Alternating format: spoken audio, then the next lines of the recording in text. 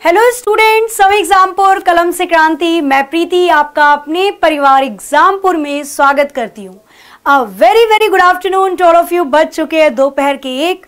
स्वागत है आप सभी का कंप्यूटर की रामबाण मैराथन में। अच्छा इस कंप्यूटर का नाम रामबाण क्यों है? ये आपको जब क्लास एंड होगी तो आपको पता चल जाएगा। इस सेशन के अंदर आप में से जितने भी स्टूडेंट्स हैं, कुछ ऐसे स्टूडेंट्स हैं जिनको कंप्यूटर आता है।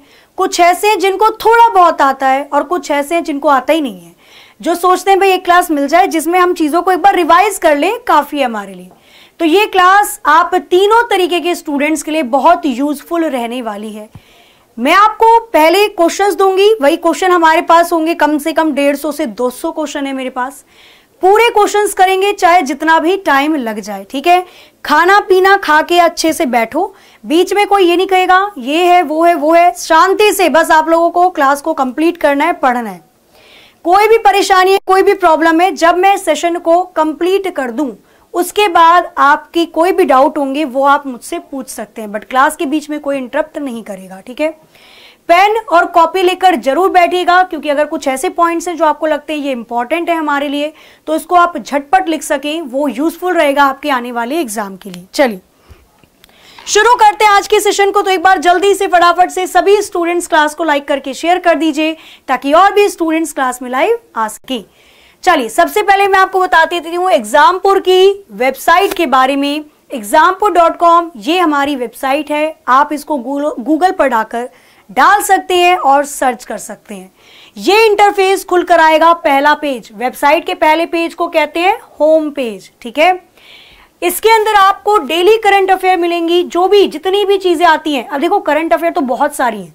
लेकिन कौन सी चुनिंदा चीज़ें जो आपको पढ़नी है तो वो कॉम्पिटेटिव लेवल की करंट अफेयर आपको यहाँ पर मिलेगी पीडीएफ फॉर्म में। आप इसको पढ़ सकते हो। टेस्ट सीरीज़ आपको यहाँ पर प्रोवाइड करवाई जाती है। जॉब अलर्ट, कौन सा जॉब निकला, प्रीवियस ईयर के question, study material, free quiz, book, live scholarship test तो ये सारी चीज़ें आप लोगों को मिल जाएँगी। साथ ही अपने एग्ज़ाम को और भी बेहतरीन तरीके से तैयार करने के लिए जुड़ सकते हैं आप हमारे मशाल बैच के साथ। दो साल की वैलिडिटी के लिए ये कोर्स आप लोगों के लिए उपलब्ध करवाया जा रहा है, जिसकी फ़ीस है चौदह अगर आप परचम बैच के स्टूडेंट हैं तो नौ सौ निन्यानवे में ही आप जुड़ सकते हैं हमारे मशाल बैच से। ठीक है? उसी के साथ आप किसी भी एग्ज़ाम की तैयारी कर रहे हैं तो 100 से 150 तक के मॉक टेस्ट आपको बिल्कुल फ्री यहाँ पर एग्जामपो पर प्रोवाइड करवाए जा रहे हैं। चलिए तो शुरू करते हैं अपने आज के सेशन को। आज हम करने वाले हैं क्या? तो आज हम कंप्यूटर मैराथन करने वाले हैं, जिसमें हम कौन कौन से टॉपिक को कवर करेंगे। तो ये मान के चलो, जितने भी टॉपिक होते हैं कंप्यूटर के अंदर most most of the important topic चाहे कंप्यूटर की हिस्ट्री की बात की जाए, चाहे कंप्यूटर की पीढ़ी जनरेशन की बात की जाए, चाहे मैं फंडामेंटल ऑफ़ कंप्यूटर की बात करूँ, चाहे हम कंप्यूटर की मेमोरी की बात करें, चाहे कंप्यूटर में हार्डवेयर की बात की जा रही हो, और चाहे कंप्यूटर में सॉफ्टवेयर की बात की जा रही हो हार्डवेयर हो गया या फिर अगर हम बात करते हैं सॉफ्टवेयर, जिसमें ऑपरेटिंग सिस्टम आ जाता है। इसी के साथ एम एस ऑफ़िस, पूरा का पूरा M S Word M S Excel M S PowerPoint उसी के साथ इंटरनेट और नेटवर्किंग वाले चैप्टर की हम बात करते हैं, जिसमें ओ एस आई लेयर भी आती है। पंडित जी ने इस बार करवाया, फ़िज़िकल। सारी लेयर जितनी भी होती है, physical, data link, network, transport, session, presentation, application layer तो नेटवर्किंग वाला चैप्टर भी आ जाएगा। और इसी के अंदर हम साइबर सिक्योरिटी वाले कॉन्सेप्ट को भी कवर करेंगे और उसी के साथ साथ जो इलेक्ट्रॉनिक मेल होता है, ईमेल होता है। Full form shortcut keys. कुल मिलाकर रामबाण क्लास, है ना? चलो, ज़्यादा देर ना करते हुए डायरेक्टली क्वेश्चन पर चलते हैं। क्वेश्चन नंबर वन आपके स्क्रीन पर ये रहा। पढ़िए जरा फटाफट से, बताइए क्वेश्चन नंबर वन के लिए कौन सा ऑप्शन हो जाएगा करेक्ट? और आपका समय शुरू होता है अब। हर एक क्वेश्चन के लिए 10 से 15 सेकंड मिलेंगे आपको। क्वेश्चन को सॉल्व करने के लिए। करिए जरा फटाफट से। बातें नहीं बा, बातें मत करना बिल्कुल भी। बातें करोगे तो फिर मज़ा नहीं आएगा क्लास के अंदर। क्लास को एंजॉय करो जैसे मूवी देख रहे हो। ठीक है पुष्पा चल रही है जैसे। कुछ भी कुछ भी सोचो बट क्लास को एंजॉय करते हुए पढ़ना। तभी आज की क्लास बहुत ही ज़्यादा फ्रूटफुल रहेगी आपके लिए। क्वेश्चन नंबर वन के लिए कौन सा ऑप्शन करेक्ट हो जाएगा, ये आपको बताना है। The technology use in electronic printers is called electronic printer पे कौन सी टेक्नोलॉजी का इस्तेमाल किया जाता है? तो माइक्रो एनकैप्सुलेशन टेक्नोलॉजी का इस्तेमाल आपके इलेक्ट्रॉनिक प्रिंटिंग में, या कह सकते हो इलेक्ट्रॉनिक प्रिंटर्स के अंदर किया जाता है।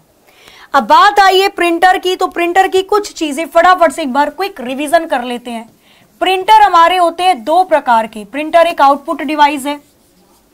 प्रिंटर दो प्रकार के होते हैं। एक होते हैं इंपैक्ट प्रिंटर। इंपैक्ट वो प्रिंटर जो खटर पटर टकर टकर बहुत शोर करते हैं।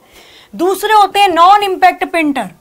Non impact printer उनको कहते हैं जो आज के युग के हैं, जो शोर शराबा नहीं करते। नॉन इंपैक्ट प्रिंटर अपने में व्यस्त हैं। इनके पास इतना टाइम ही नहीं है कि शोर कर पाए। इंपैक्ट प्रिंटर के अंदर आता है आपका डॉट मैट्रिक्स प्रिंटर इसी के अंदर आता है आपका डेजी व्हील प्रिंटर इसी के अंदर आता है आपका लाइन प्रिंटर लाइन प्रिंटर जिसमें हम बात करते हैं बैंड प्रिंटर के बारे में या फिर चैन प्रिंटर के बारे में या फिर ड्रम प्रिंटर के बारे में. नॉन इंपैक्ट प्रिंटर के अंदर आते हैं इंकजेट प्रिंटर इसी के अंदर आता है लेजर प्रिंटर, इसी के अंदर आता है थर्मल प्रिंटर और इसी के अंदर आता है पोर्टेबल प्रिंटर। ये इसलिए क्वेश्चन आ जाए तो पहचान सको कौन से इंपैक्ट प्रिंटर है और कौन से नॉन इंपैक्ट प्रिंटर है। इन दोनों प्रिंटर को कैरेक्टर प्रिंटर कहा जाता है। काहे? काहे कि ये एक बार में केवल एक अक्षर को छापते हैं। कौन से प्रिंटर में कार्बन का इस्तेमाल करके कॉपी बनाई जाती है डुप्लीकेट डॉट मैट्रिक्स प्रिंटर के अंदर। इंकजेट प्रिंटर में चार कार्टेज होती है C M K Y blue colour की मैजेंटा गुलाबी कलर की ब्लैक काले कलर की और येलो मतलब पीले कलर की। तो ये चार रंग होते हैं इंकजेट, पूछा जाता है। सबसे अच्छी गुणवत्ता वाला लेजर प्रिंटर होता है। Light amplification for stimulated emission of radiation full form है। थर्मल प्रिंटर एटीएम में इस्तेमाल किया जाने वाला प्रिंटर, थर्मल प्रिंटर। और ऐसा प्रिंटर जो आसानी से एक जगह से दूसरे जगह ले जाया जा सके, उसको पोर्टेबल प्रिंटर कहते हैं। नेक्स्ट क्वेश्चन नंबर सेकेंड जहाँ पे मुझे लगेगा टॉपिक ज़रूरी है, इसको एक्सप्लेन करना, वहाँ पर मैं टॉपिक को एक्सप्लेन करूँगी। बाकी फिर फटाफट फटाफट क्वेश्चन क्वेश्चन नंबर सेकेंड समय शुरू होता है आपका अब, केवल 10 से 15 सेकेंड है आपके पास। करिए इसका आंसर करिए जल्दी से, फटाफट से बताइए इसका आंसर क्या हो सकता है। क्वेश्चन आपके स्क्रीन पर है। दिख रहा है क्वेश्चन? हाँ जी, चलिए। फटाफट से क्वेश्चन का आंसर करके बताना है। इसके लिए कौन सा ऑप्शन बिल्कुल करेक्ट हो जाएगा? चलो, आंसर आना स्टार्ट तो हो रहा है आप लोगों का। निम्नलिखित में से कौन सा डेटा हरारिकी का आरोही क्रम है? आरोही क्रम का मतलब असेंडिंग ऑर्डर है, छोटे से बड़े तक।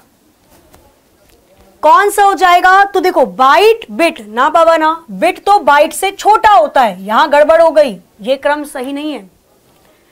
फ़ील्ड बाइट फिर से देखो बाइट आगे आना चाहिए बिट पीछे आना चाहिए। ये फिर गड़बड़ कर दी इसने। आगे चलो। आगे आपने देखा तो यहाँ पर आपको क्या मिला? बिट मिल गया, ठीक है जी बाइट मिल गया। रिकॉर्ड और फ़ाइल में गड़बड़ कर दी। पहले फ़ील्ड आता है, फिर रिकॉर्ड आता है। ये भी नहीं होगा।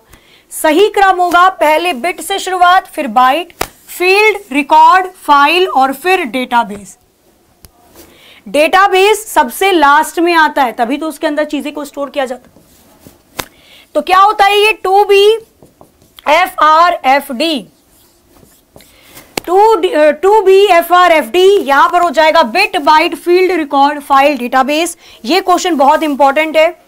पूछा गया है, अगर आपने प्रीवियस ईयर देखे तो तो डेफिनेटली नहीं देखे तो मैं आपको बता रही हूँ कि इंपॉर्टेंट है. क्वेश्चन नंबर थर्ड, करिए जल्दी से 10 से 15 सेकंड का समय। बताओ फटाफट से करके।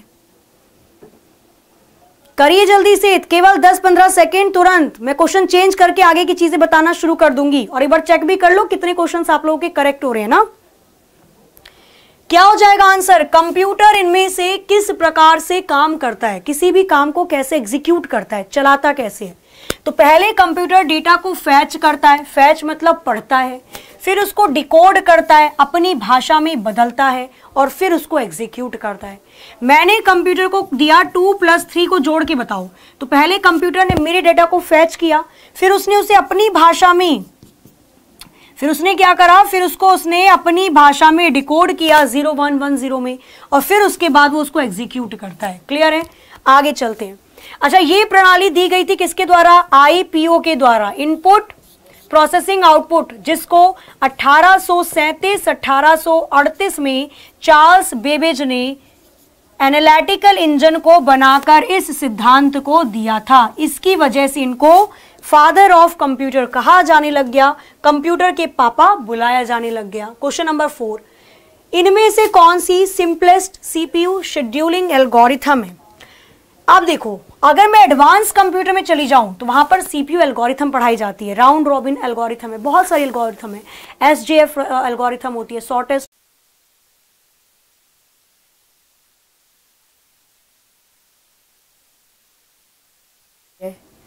ठीक है, चलो, यहाँ से शुरू करते हैं। अब आ चुका है नेट ठीक है? अब क्या ही कर सकते हैं? चलो, कोई बात नहीं। है ना? होता है होता है कभी कभी होता है। चलो तो मैंने, मुझे लग रहा है कि ये वाला मैं क्वेश्चन आगे चली गई थी। अभी हम इसी क्वेश्चन पे थे जिसमें नेट चला गया था ना? यही वाला क्वेश्चन था भाई जिसके अंदर नेट चला गया था।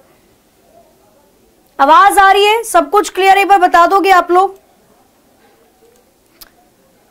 सब कुछ ठीक है भाई? दोबारा से एक बार कर देना शेयर हो सकता है सारे बच्चे इधर उधर चले गए हों बट चलो, जो जितने भी हैं वहीं से स्टार्ट करते हैं।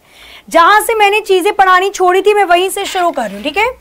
चलिए तो मैंने यहाँ पर क्या बताया था? इस वाले क्वेश्चन को मैं दोबारा से बता देती हूँ। शायद ये वाला क्वेश्चन था जिसमें नेट चला गया था। तो यहाँ पर हम बात कर रहे थे किसके बारे में? हम बात कर रहे थे कि सीपीयू शेड्यूलिंग का सबसे इजी तरीका क्या होता है? तो सीपीयू सबसे आसानी से F C F S scheduling को करती है। फ़र्स्ट कम सर्व फ़र्स्ट सर्व जो काम पहले आएगा फ़र्स्ट कम फ़र्स्ट सर्व उस काम को सिस्टम पहले करेगा। मतलब पहले जो आपने काम दिया है सिस्टम को, पहले वो काम किया जाएगा, फिर दूसरा, तीसरा, चौथा, पांचवा, इस प्रकार से काम को किया जाएगा। ये first come first serve computer में सबसे ज़्यादा इस्तेमाल करने वाला एल्गोरिथम है। फिर क्वेश्चन आपसे पूछा गया था कि राउंड रॉबिन शेड्यूलिंग मैंने इतना पढ़ा दिया था, देखो, तब मुझे पता चला कि भैया नेट चला गया, कोई नहीं। Round robin scheduling operating system में ये एक प्रकार की शेड्यूलिंग होती है जिसके अंतर्गत हम काम को टाइम डिवाइड कर देते हैं। हर एक काम को निर्धारित समय दिया जाता है। इस समय ये काम हो जाना चाहिए। ये राउंड रॉबिन शेड्यूलिंग के अंदर होता है। इन शॉर्ट, जब हम बात करते हैं टाइम शेयरिंग ऑपरेटिंग सिस्टम की तो टाइम शेयरिंग ऑपरेटिंग सिस्टम में राउंड रॉबिन शेड्यूलिंग का इस्तेमाल किया जाता है। इसी से सीपीयू अपने काम को करता है, ठीक है? चलिए, क्वेश्चन नंबर सिक्स। करिए जरा फटाफट से बताइए इसका आंसर क्या होगा, ठीक है? थोड़ा सा जल्दी लेकर चलेंगे चीज़ों को। कोशिश करेंगे बहुत ही अच्छे से। दो ढाई घंटे में 200 क्वेश्चन हो जाए। और हो सकते हैं अगर आप बहुत अच्छे से चीज़ों को केवल समझ रहे हो, पढ़ रहे हो, ठीक है? हाँ जी, चलिए करिए जरा फटाफट से बताइए इसका आंसर क्या होगा। क्वेश्चन आपके स्क्रीन पर है। The process of arranging data data को अरेंज करना क्या कहलाता है? तो जब आप कंप्यूटर में डेटा को अरेंज करते हो तो उसको शॉर्टिंग कहते हैं। क्या कहा जाता है? शॉर्टिंग कहा जाता है। ठीक है? डेटा को आप शॉर्ट कर रहे हो, चाहे उसको असेंडिंग ऑर्डर में लगा रहे हो, चाहे डिसेंडिंग ऑर्डर में लगा रहे हो, चाहे घटते हुए क्रम में लगा रहे हो, चाहे बढ़ते हुए क्रम में लगा रहे हो। निम्नलिखित में से कौन सी कंप्यूटर मेमोरी अवाष्पेषित होती है? Which of the following computer memory is non volatile इनमें से कौन सी कंप्यूटर की मेमोरी नॉन वॉलेटाइल है? वॉलेटाइल और नॉन वॉलेटाइल आप लोगों ने पढ़ी हुई है। करना जरा इसका फटाफट से आंसर करके बताइए। ठीक है? हाँ जी, बिल्कुल स्टार्ट हो गई है क्लास तो आ जाइए आप सभी लोग। बीच में नेटवर्क चले गए थे बट चलो फिर आ गए हैं। चलिए जी, करिए जरा फटाफट से बताइए इसका आंसर क्या हो सकता है। क्वेश्चन आपके स्क्रीन पर दिया हुआ है। क्या बोल रहा है ये? कौन सी नॉन वॉलेटाइल मेमोरी होती है? तो रोम। रोम एक नॉन वॉलेटाइल मेमोरी है, बाकी सब वॉलेटाइल होती है। अब कैसे पता चलेगा? तो मेमोरी के बारे में फटाफट से मैं चीज़ें समझा देती हूँ, फिर क्वेश्चन करेंगे लगातार। मेमोरी के अंदर अगर बात की जाती है तो मेमोरी होती है कंप्यूटर की दो प्रकार की। कंप्यूटर में मेमोरी दो प्रकार की होती है। कौन कौन सी? एक होती है प्राइमरी मेमोरी जिसको हम लोग कहते हैं प्राथमिक मेमोरी और एक होती है सेकेंडरी मेमोरी जिसको सहायक मेमोरी कहा जाता है। प्राथमिक मेमोरी वो जो पहले से कंप्यूटर के अंदर लगी हुई आती हैं, जैसे रैम हो गई, रैंडम एक्सेस मेमोरी, रोम हो गई, रीड ऑनली मेमोरी, कैश हो गई, जो रैम की स्पीड को बढ़ाने के लिए लगाई गई मेमोरी होती है।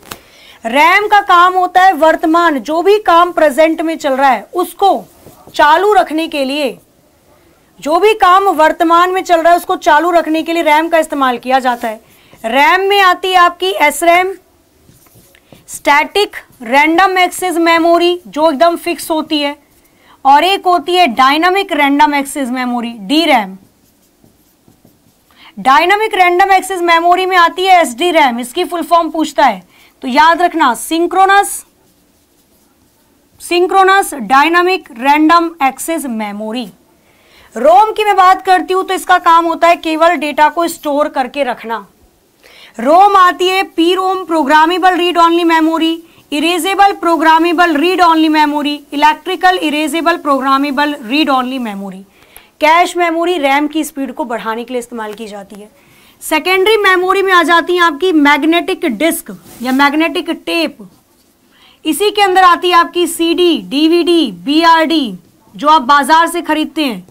इसी के अंदर आती है हार्ड डिस्क इसी के अंदर आती है फ्लॉपी डिस्क और इसी के अंदर आती है आपकी मेमोरी कार्ड या फिर अगर हम बात करते हैं तो पेन ड्राइव तो ये पूरा चार्ट हो जाता है मेमोरी का।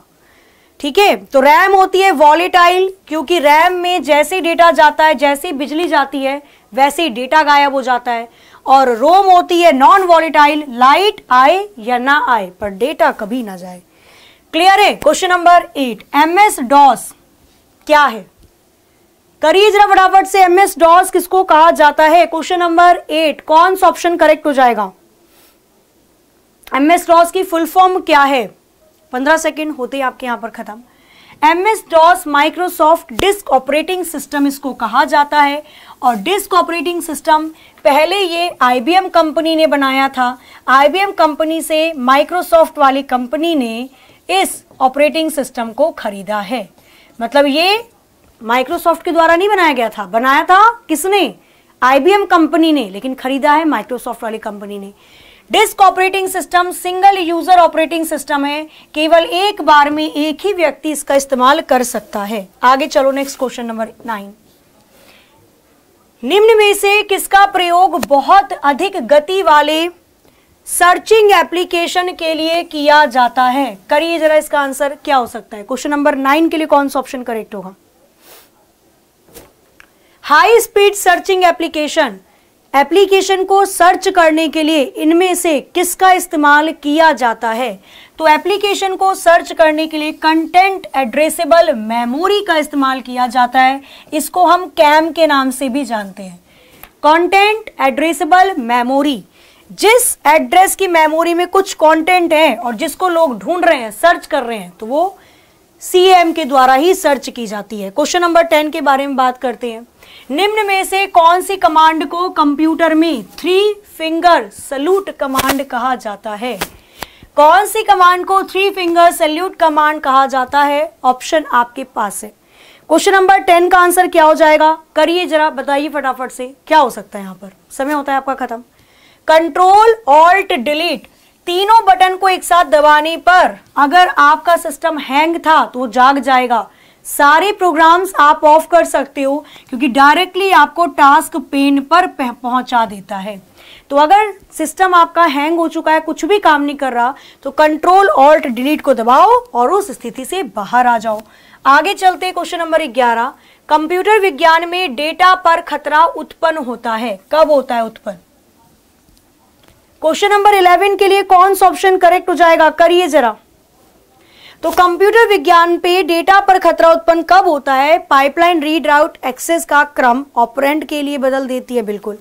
जब पाइपलाइन अपने रीड राइट एक्सेस का क्रम ऑपरेंड के लिए बदल देती है, पाइपलाइन क्या होती है? जब आप सीपीयू शेड्यूलिंग, ये थोड़ा ऊपर लेवल कंप्यूटर हो जाता है, जब सीपीयू में प्रोग्राम को चलाया जाता है तो रीड राइट की कमांड ही अगर बदल जाएगी तो ज़ाहिर सी बात है, खतरा डेटा पर हो जाएगा। तभी तो गीगो बनाया गया था। तभी तो क्वेश्चन आपका आता है कि गीगो किससे संबंधित है? गीगो संबंधित है एक्यूरेसी से, सटीकता से। काहे? क्योंकि गीगो की फुल फॉर्म होती है गार्बेज इन गार्बेज आउट अगर आप कंप्यूटर में कचरा गार्बेज डालोगे तो गार्बेज ही तो निकलेगा। क्योंकि कंप्यूटर मशीन है, मशीन कभी गलत नहीं करती। तो GIGO is related to accuracy data आप जो देते हो वही निकलता है। लेकिन डेटा पे खतरा कब आता है? जब आप उसके ऑपरेशन को ही बदल देते हो। The first computer to be commercial was पहला कंप्यूटर जो कॉमर्शियली यूज़ किया गया था। क्वेश्चन नंबर 12 के लिए कौन सा ऑप्शन करेक्ट हो जाएगा? करिए जरा फटाफट से इसका आंसर इनमें से कौन सा पहला कंप्यूटर है जिसका इस्तेमाल किसके लिए किया गया था? कॉमर्शियली यूज़ किया गया था। करिए फटाफट से क्या होगा इसका आंसर चलो आंसर आना स्टार्ट हो चुका है, बिल्कुल। यूनिवैक पहला बिज़नेस व्यापार के लिए इस्तेमाल होने वाला कंप्यूटर था। यूनिवैक की फुल फॉर्म हो जाती है यूनिवर्सल ऑटोमेटिक कंप्यूटर यूनिवैक की फुल फॉर्म हो जाती है यूनिवर्सल ऑटोमेटिक कंप्यूटर ये पहला कैसा कंप्यूटर था? तो ये व्यापार के लिए इस्तेमाल होने वाला कंप्यूटर था। क्वेश्चन नंबर तेरह। यंत्रों में निम्नलिखित सूची में से नेटवर्क लेयर के लिए कौन सा यंत्र प्रयुक्त होता है? करिए जरा इसका answer which device is used for network layer? From the following list of device. इनमें से कौन से डिवाइस का इस्तेमाल नेटवर्क लेयर पे किया जाता है? ओएसआई का क्वेश्चन है। किसका इस्तेमाल करेंगे हम नेटवर्क लेयर के अंदर? तो नेटवर्क लेयर के अंदर राउटर का इस्तेमाल होता है। राउटर का इस्तेमाल नेटवर्क लेयर में किया जाता है। रिपीटर का इस्तेमाल होता है फ़िज़िकल लेयर के अंदर। गेटवे का इस्तेमाल भी फ़िज़िकल लेयर के अंदर ही होता है। स्विच का इस्तेमाल होता है डेटा लिंक लेयर के अंदर। ठीक है? आगे चलो। क्वेश्चन नंबर चौदह फोर्टीन। कैच में से वर्ड को हटाते ही मुख्य मेमोरी को आगतन करने की विधि को क्या कहते हैं? जब आप the method of updating the main memory as soon as the word is remove from the cache is called जब आप कैश मेमोरी में से डेटा को हटाते हो ताकि रैम अपडेट हो जाए। तो उस प्रोसेस को क्या कहा जाता है? उस प्रोसेस को राइट बैक कहा जाता है। उस प्रोसेस को राइट बैक कहा जाता है बीएसी के राइट बैक जब आप अपनी कैश मेमोरी में से मेमोरी को खाली करते हो, ताकि रैम मतलब रैंडम एक्सेस मेमोरी अपडेट हो सके तो उस प्रोसेस को राइट बैक कहते हैं। आगे चलो नेक्स्ट जो प्रोग्राम एक सिस्टम के फ़ंक्शन को दूसरे सिस्टम पर नकल करेगा, उसे क्या कहा जाता है? क्वेश्चन नंबर पंद्रह के लिए कौन सा ऑप्शन करेक्ट हो जाएगा? करिए जरा। The program which will copy the function of one system to another system उसको क्या कहा जाएगा जो एक सिस्टम से दूसरे सिस्टम में अपने प्रोग्राम को कॉपी करता है? उसे एम्यूलेटर कहा जाता है। Emulator will be the right answer cache memory किस सिद्धांत पर काम करती है? कैश मेमोरी रैम की गति को बढ़ाने के लिए इस्तेमाल की जाती है। कैश मेमोरी कौन से सिद्धांत पे काम करती है? करिए जरा फटाफट से बताओ। जल्दी से दाने इसका आंसर क्या हो सकता है भाई? फटाफट से कैश मेमोरी इनमें से किस सिद्धांत पर काम करती है? जल्दी बताओ। सौ क्वेश्चन होते के साथ ही एक सरप्राइज़, फिर सौ क्वेश्चन होते के साथ ही एक सरप्राइज़। थोड़ा थोड़ा बीच में ब्रेक ले लेंगे लिटिल लिटिल लेकिन बीच में, अभी नहीं। करिए जरा फटाफट से बताइए इसका आंसर क्या हो जाएगा? रेफरेंस की स्थिति में। रेफरेंस पोजीशन में कैश मेमोरी रेफरेंस की पोजीशन के सिद्धांत पर काम करती है। जब जब रैम की गति को बढ़ाना होगा, तब तब कैश का जन्म होगा, ठीक है? कैश मेमोरी प्राइमरी मेमोरी के अंतर्गत ही आती है। कैश मेमोरी वॉलेटाइल होती है टेम्पररी मेमोरी होती है। निम्न त्रुटियों में से किस कंपाइलर के द्वारा पहचान की जाती है? Which of the following errors are detected by the compiler compiler किस चीज़ को, कौन सी त्रुटि को पकड़ने के लिए इस्तेमाल किया जाता है? करिए जरा फटाफट से बताइए इसका आंसर क्या होगा। कंपाइलर पता है ना क्या होता है? कंपाइलर इंटरप्रेटर असेंबलर उच्च स्तरीय भाषा को हाई लेवल लैंग्वेज को मशीनी भाषा में बदलने के लिए कंपाइलर का इस्तेमाल किया जाता है और कंपाइलर सिंटेक्स एरर को ही पकड़ पाता है। ये सिंटेक्स एरर क्या है भैया? सिंटेक्स का मतलब होता है लिखने का तरीका। प्रोग्राम को लिखने का तरीका। अगर मैं सी प्रोग्राम की बात करती हूँ तो एक ब्रैकेट खुला है तो एक बंद भी होगा। अगर आपने केवल ब्रैकेट खोला, बंद नहीं करा तो एरर आ जाएगी। यही सिंटेक्स एरर होती है कि आपने प्रोग्राम को लिखने के तरीके पे ही गलती कर दी।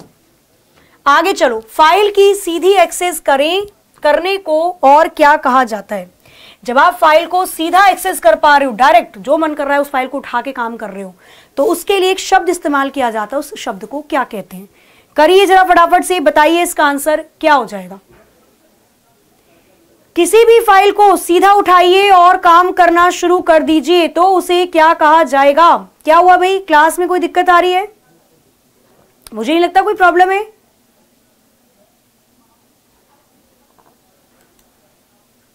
क्लास में कोई प्रॉब्लम तो नहीं है ना? क्लास सही चल रही है, नहीं चल रही है? ऐसे मत बोलो भाई। सर वॉइस मिसमैच हो रही है क्या? एक बार आप चेक कर ले रहे हैं चलिए, एक बार चेक हो जाएगा, अगर कुछ दिक्कत हो रही है तो।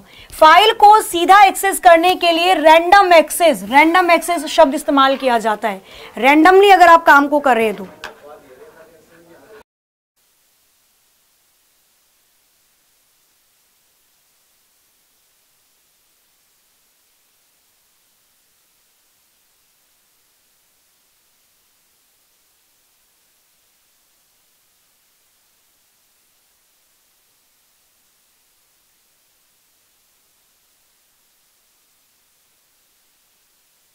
चलो, अब आवाज़ सही आ रही है भाई। वॉइस मिसमैच हो रही थी बट अब दोबारा से उसको ठीक करी गई है। अब आवाज़ मुझे लगता है कि सही आ रही होगी। ठीक है जी? चलो तो अब मैं आगे कंटिन्यू करती हूँ, ठीक है? रैंडम एक्सेस कहा जाता है? रैंडम एक्सेस जब आप डायरेक्ट किसी भी प्रोग्राम को काम करना शुरू कर दे तो डायरेक्ट कोई भी प्रोग्राम स्टार्ट हो जाता है। कंप्यूटर को बूट करने के लिए इनमें से किसकी आवश्यकता होती है?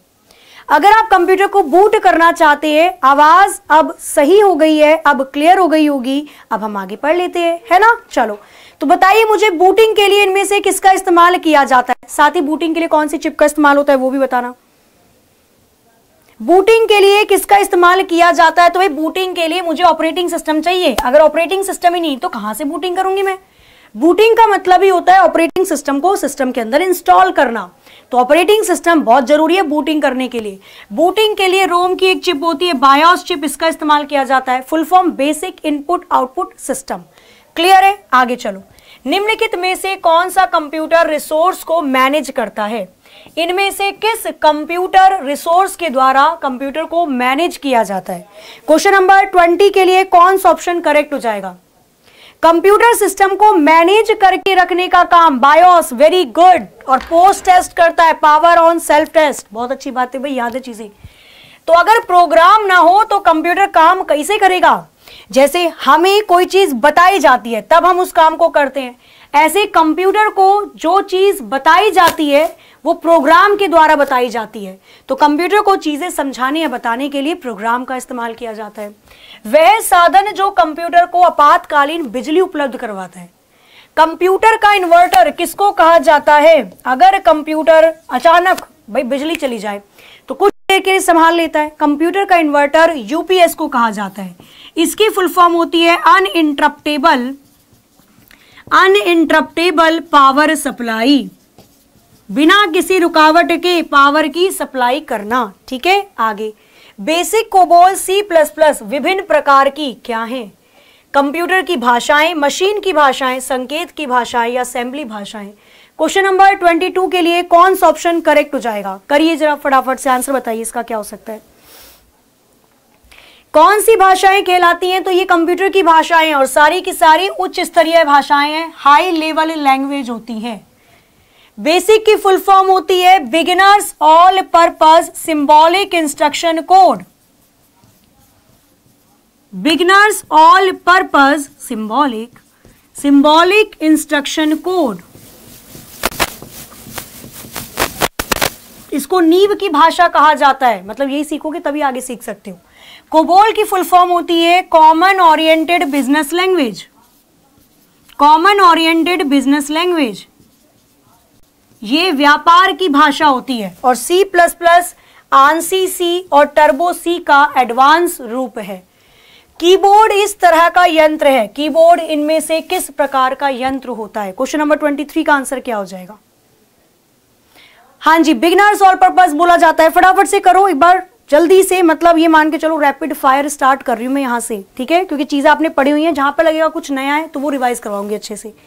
करिए जरा जल्दी से बताइए इसका आंसर क्या हो जाएगा। तो इसका आंसर तो तुरंत बता दो। कीबोर्ड एक इनपुट डिवाइस है। किसके द्वारा बनाया गया था? तो शोल्स नाम के व्यक्ति के द्वारा कीबोर्ड का निर्माण किया गया था। एक मानक स्टैंडर्ड कीबोर्ड के अंदर 101 से लेकर 104 तक के बटन होते हैं, की होती है। लेजर प्रिंटर का रिजोल्यूशन किसके रूप में निर्दिष्ट किया जाता है? किसी भी प्रिंटर का रिजोल्यूशन जो होता है ना, रिजोल्यूशन का मतलब क्या होता है कि स्क्रीन पर कितने छोटे छोटे पिक्सल हैं। अच्छा जी, पिक्सल किसको कहा जाता है? तो पिक्सल किसी भी चित्र की सबसे छोटी इकाई smallest unit of any picture pixel कहलाती है। तो एक पूरे पेज पर, स्क्रीन पर कितने पिक्सल है, वही रिजोल्यूशन कहलाता है। रिजोल्यूशन को डीपीआई में मापते हैं। डीपीआई की फुल फॉर्म होती है डॉट पर इंच एक इंच में कितने डॉट हैं? निम्नलिखित में से कौन सा एक ओपन सोर्स सॉफ्टवेयर नहीं है? इनमें से कौन सा सॉफ्टवेयर ओपन सोर्स के अंतर्गत नहीं आता? करिए जरा आंसर इनमें से कौन सा open source operating system sorry operating system नहीं सॉफ्टवेयर नहीं है? ओपन सोर्स का मतलब होता है फ्री फ्री फ्री कोई चार्ज नहीं लेता. Linux open source operating system है, कोई पैसा नहीं देना, आराम से इस्तेमाल करो. ओपन ऑफ़िस खुद से ओपन सोर्स है, बेचारा चिल्ला के कह रहा है, मैं ओपन हूँ. गूगल क्रोम ओपन सोर्स है सारी चीज़ें सर्च कर लो।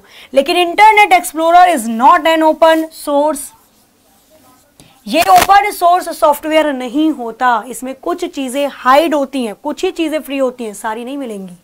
क्वेश्चन नंबर देखते हैं 26 पहला कंप्यूटर माउस किसके द्वारा बनाया गया था? माउस कैसा एक, क्या है? तो माउस एक इनपुट डिवाइस है। इनपुट डालता है कंप्यूटर के अंदर। किसके द्वारा माउस को बनाया गया था? तो डगलस एंगलबर्ट नाम के व्यक्ति के द्वारा 1964 1964 में माउस का आविष्कार किया गया था। निम्नलिखित में से कौन विश्व का पहला लैपटॉप बाज़ार में लाया? फ़र्स्ट टाइम लैपटॉप को लाने वाले भैया मतलब कंपनी कौन थे? भैया तो बाद में। लैपटॉप को लाने वाली कंपनी, पहली कंपनी जो बाज़ार में लैपटॉप को लेकर आई, वो थी एप्सॉन कंपनी। और फादर ऑफ़ लैपटॉप किसको कहा जाता है? एडम ऑसबॉर्न को कहा जाता है। अगर ये ना होते तो हम लैपटॉप ना लेकर घूम रहे होते। फिर हमें कंप्यूटर के पास जाना होता। पहले कंप्यूटर ऐसे तो बनते थे, बहुत बड़े बड़े कंप्यूटर होते थे। लोग कंप्यूटर के बाद जाते थे गणना करने के लिए। अब तो क्या है बैग में डालो। फ़ोन है पॉकेट में डालो। ऐसे होता है है ना? चलो।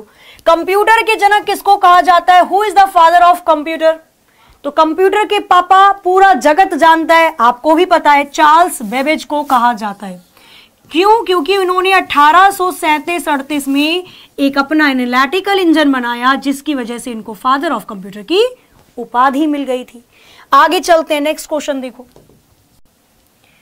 भारत का प्रथम हाई स्पीड ग्रामीण ब्रॉडबैंड नेटवर्क किस राज्य के ज़िले में शुरू किया गया?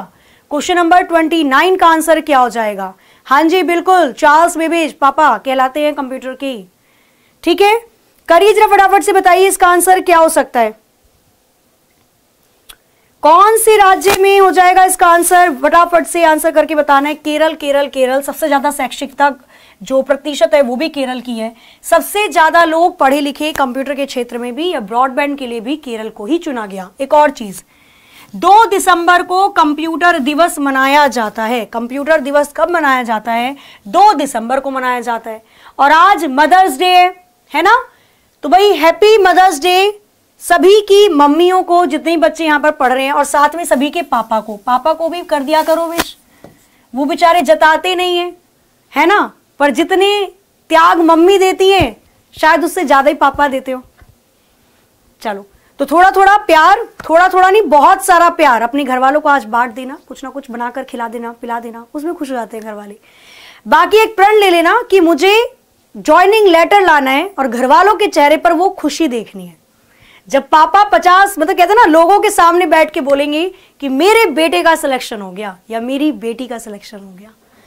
चलिए ईमेल का आविष्कार किसके द्वारा किया गया था? ईमेल का आविष्कार पूछा इसने। ईमेल का आविष्कार रे टॉमिल्सन के द्वारा किया गया था। कहाँ गए भैया रे टॉमिल्सन? क्या बोलने की कोशिश करना चाह रहा है भाई?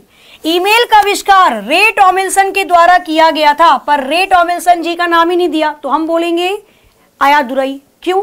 भारत में ईमेल लाने वाले शिवा आया दुराई थे। लेकिन ओवरऑल विश्व की अगर मैं बात करती हूँ तो ईमेल का आविष्कार रे टॉमिल्सन नामक व्यक्ति के द्वारा किया गया था। अब देखो ऑप्शन में रे टॉमिल्सन तो है नहीं, लेकिन भारत वाले बंदे का नाम है तो हमने शिवा आया दुराई कर दिया। टिम बर्नर ली ने डब्ल्यू डब्ल्यू डब्ल्यू का आविष्कार किया था। यू आर एल का आविष्कार किया था। एच टी एम एल का आविष्कार किया था। जेम्स गोजलिंग ने जावा भाषा का आविष्कार किया। विंट सर्फ को इंटरनेट का पापा इंटरनेट के फादर कहा जाता है। क्लियर है? आगे चलो नेक्स्ट कंप्यूटर का जनक कितने बार पूछोगे, भैया, बदल थोड़ी जाएँगे? Charles Babbage option A will be the right answer. Internet के जन्मदाता किसे कहा जाता है? Who is the father of internet तो अभी मैंने आपको बताया, इंटरनेट के फादर किसको कहा जाता है? तोशिबा? तोशिबा क्या है? तोशिबा भी एक कंपनी है जो लैपटॉप को लेकर आई थी। देखो, दो चीज़ें होती हैं। एक होता है अनाउंसमेंट कर देना, एक होता है मार्केट में ज़्यादा बेचना। तो मार्केट में ज़्यादा अगर बिक्री हुई तो वो हुई थी तोशिबा की। मैंने बताया भी था आपको एक बार, तोशिबा के लैपटॉप सबसे पहले मार्केट में आकर बहुत ज़्यादा बिके। लेकिन जो एक्सपेरिमेंट सबसे पहली बार किया गया था, वो एप्सन कंपनी के लैपटॉप पर किया गया था। क्लियर है? इंटरनेट के जन्मदाता विंट सर्फ को कहा जाता है। Option A will be the right answer आगे चलते हैं। विंडो एक्सपी विंडो सेवन में हाइबरनेट का अर्थ क्या होता है? अब तो खैर कहा गया विंडो सेवन विंडोज़ सेवन के अंदर एक ऑप्शन आया करता था हाइबरनेट वो किसके लिए इस्तेमाल होता था? बताओगे जरा। हाइबरनेट का इस्तेमाल किसके लिए होता था? रनिंग एप्लीकेशन को टर्मिनेट करते हुए शटडाउन करना। ना भाई ना शटडाउन थोड़ी करेगा वो। दोबारा देखो। टर्मिनेट करने के बाद शटडाउन तो नहीं करता। हाइबरनेट मोड पे कंप्यूटर रीस्टार्ट करना नहीं। रनिंग एप्लीकेशन को क्लोज किए बिना ये होता है। हाइबरनेट का मतलब होता है ज़बरदस्ती। कंप्यूटर को बंद कर दो। कंप्यूटर चिल्ला रहा है कि मेरे अंदर तीन चार प्रोग्राम आपने खुले छोड़ दिए, पर आप ज़बरदस्ती, सारे प्रोग्राम को ज़बरदस्ती बंद करके कंप्यूटर को बंद करना चाहते हैं। तो वो हाइबर नेट कहलाता है। तो रनिंग एप्लीकेशन को क्लोज किए बिना ही अगर आप कंप्यूटर को शट डाउन करते हो, ज़बरदस्ती सारे एप्लीकेशन बंद कर देते हो तो उस स्थिति को हाइबर कहते हैं। क्लियर है? एप्लीकेशन प्रोग्राम के कलेक्शन को क्या कहा जाता है? Collection of application program is called question number thirty four का आंसर क्या हो जाएगा? तो एप्लीकेशन प्रोग्राम के कलेक्शन को सॉफ्टवेयर कहा जाता है। Option B will be the right answer एक होते हैं एप्लीकेशन सॉफ्टवेयर जो यूज़र के अकॉर्डिंग आप उसको इंस्टॉल कर सकते हो डिलीट कर सकते हो। एक होते हैं आपके कौन से सॉफ्टवेयर? सिस्टम सॉफ्टवेयर, जिसको आप अपने अकॉर्डिंग डिलीट नहीं कर सकते, क्योंकि उनके बिना सिस्टम काम नहीं करेगा। जैसे ऑपरेटिंग सिस्टम हो गया, जैसे कंपाइलर हो गया इंटरप्रेटर हो गया सेमलर हो गया लिंकर लोडर हो गया। क्वर्टी का प्रयोग इनमें से किस संदर्भ के लिए किया जाता है? क्वर्टी शब्द देखते के साथ ही आपके दिमाग में कौन सा डिवाइस आता है? क्वर्टी शब्द देखते के साथ ही आपके माइंड में कौन सा डिवाइस आता है? तो माउस नहीं, कीबोर्ड आएगा। कीबोर्ड। कीबोर्ड क्वार्टी से रिलेटेड है। कीबोर्ड के अंदर टोटल कितनी फ़ंक्शन की होती हैं? तो कीबोर्ड में कुल मिलाकर 12 फ़ंक्शन की होती हैं। निम्नलिखित में से कौन सी की फ़ंक्शन की है? इनमें से किस की को फ़ंक्शन की का दर्जा दिया जाएगा? करिए जरा आंसर फटाफट से बताइए। बच्चा, लिब्रे ऑफ़िस केवल और केवल ट्रिपल सी वाले स्टूडेंट्स के लिए होता है, बाकी आप में से किसी को लिब्रे ऑफ़िस नहीं पढ़ना होता। पुलिस के एग्ज़ाम के लिए लिब्रे ऑफ़िस नहीं, एमएस ऑफ़िस पढ़ोगे, आप लोग माइक्रोसॉफ्ट ऑफ़िस पढ़ोगे। लिब्रे ऑफ़िस केवल और केवल जो बच्चे ट्रिपल सी की तैयारी कर रहे हैं, उनके लिए होता है। हाँ जी, क्वालिटी, बिल्कुल करेक्ट आंसर है।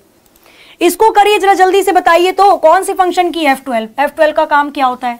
सेव एज के लिए एफ़ ट्वेल्व फ़ंक्शन की का इस्तेमाल करते हैं। और इसका कौन सी शॉर्टकट की होती है सेव एज के लिए?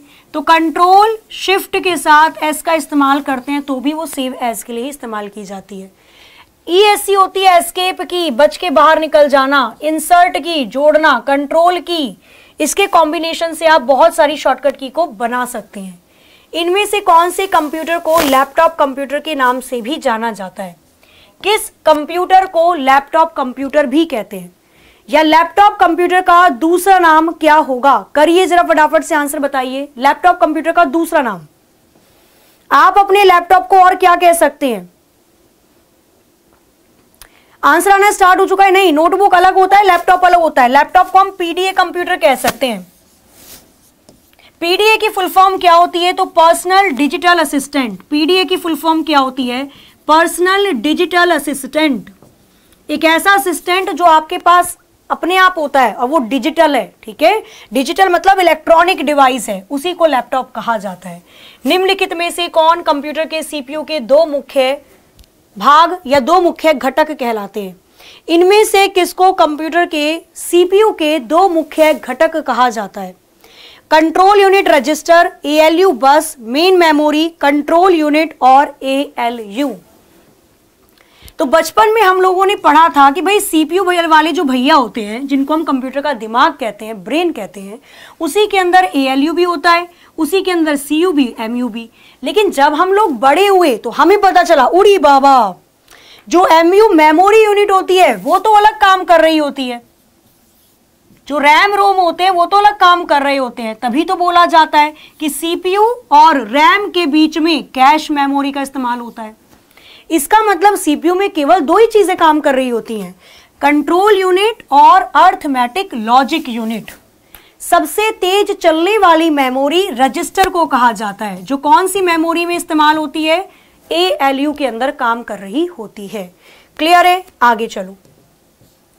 ईपी रोम की फुल फॉर्म क्या होगी? What is the full form of EP ROM बताइए जरा क्वेश्चन नंबर थर्टी नाइन का आंसर क्या हो सकता है? अरे, बहुत सारी चीज़ें नहीं हम लोगों ने बचपन में जो पढ़ी थी। बहुत चीज़ें आपको गलत दिखती हैं जब आप बड़े होते चले जाते हो। पता है ऐसा क्यों होता है? क्योंकि उस टाइम पर हमारा दिमाग उतनी चीज़ें नहीं झेल पाता, उतनी क्षमता नहीं होती। जब हम बड़े होते हैं तो हमें बताया जाता है। अच्छा बहुत चीज़ें होती है ऐसी, है ना? चलो, करिए जरा फटाफट से बताइए what is the full form of EP ROM erasable programmable read only memory कहीं दिखाई दे रही है? बिल्कुल, पहले में दिखाई दे रही है। Erasable programmable read only memory ROM की फुल फॉर्म मतलब रोम का एक प्रकार है। इसके अंदर डेटा को डिलीट करने के लिए पैरा बैंगनी किरणों का इस्तेमाल किया जाता था। अल्ट्रा वायलेट रेज का इस्तेमाल किया जाता था। पहली पीढ़ी का कंप्यूटर सर्किटरी के लिए किसका प्रयोग करता था? पहली पीढ़ी के कंप्यूटर में सर्किट के लिए मतलब सप्लाई के लिए, इलेक्ट्रिक सप्लाई के लिए, इनमें से किसका इस्तेमाल किया जाता था? करिए जरा इसका आंसर, क्या हो सकता है? बताइए फटाफट से, क्या हो जाएगा इसका आंसर? आंसर आना स्टार्ट भी हो चुका है। वेरी वेरी गुड यहाँ पे आंसर हो जाएगा वैक्यूम ट्यूब एंड वॉल्व पहली पीढ़ी में वैक्यूम ट्यूब एंड वॉल्व आए। पहली पीढ़ी 1942 से 1955 तक चली। दूसरी पीढ़ी के अंदर ट्रांजिस्टर का आविष्कार हुआ। दूसरी पीढ़ी 1955 से 1964 तक चली 1964 तक चली। तीसरी पीढ़ी में इंटीग्रेटेड सर्किट आई, ये 1965 से 1975 तक चली और और चौथी पीढ़ी के अंदर आई आपकी L S I C large scale integrated circuit chip के साथ साथ माइक्रो प्रोसेसर चिप। ये आए चौथी पीढ़ी के अंदर। ये 1975 से 1989 तक चली। फिर आती है पांचवी पीढ़ी, जिसमें हम लोग इस्तेमाल कर रहे हैं कंप्यूटर को। फिफ्थ जनरेशन चलती जा रही है, चलती जा रही है और चलती ही जा रही है। टिल नाउ चली रही है, ठीक है? इसके अंदर आर्टिफिशियल इंटेलिजेंस आई और ultra large scale integrated circuit chip का भी आविष्कार किया। क्लियर है? आगे चलते हैं। संक्षिप्त शब्द post process performed by a computer form firmware computer firmware के द्वारा एक काम किया जाता है। तो पोस्ट की फुल फॉर्म क्या होती है? What is the full form of POST POST का आंसर क्या हो जाएगा? पोस्ट ये काम कौन करता है? तो ये काम पढ़ लो मैसेज मत करना। मैं पहले बोल रही हूँ, क्योंकि मैं मैसेज आप लोगों के अभी नहीं देखूँगी। जब 100 क्वेश्चन हो जाएँगे तो एक ब्रेक ले लेंगे, फिर 100 क्वेश्चन के बाद। अभी आप अगर कमेंट कर रहे हो और बतिया रहे हो तो वो आपकी गलती है, फिर एग्ज़ाम में आप खुद जिम्मेदार होगे। चलो, करिए जरा फटाफट से बताइए, इसका आंसर क्या हो जाएगा? What is the full form of POST power on self test very good POST की फुल फॉर्म होती है पावर ऑन सेल्फ टेस्ट जैसे पावर ऑन हुआ, अपने आप को टेस्ट करना शुरू कर देता है। निम्नलिखित में से कौन पॉइंट एंड ड्रॉ डिवाइस है? इनमें से किस डिवाइस को पॉइंट एंड ड्रॉ डिवाइस कहा जाता है? करिए जरा इसका आंसर किस डिवाइस को पॉइंट एंड ड्रॉ कहा जाता है? कि वो पॉइंट भी लगा सकता है और कोई भी चीज़ उससे ड्रॉ कर सकते हो।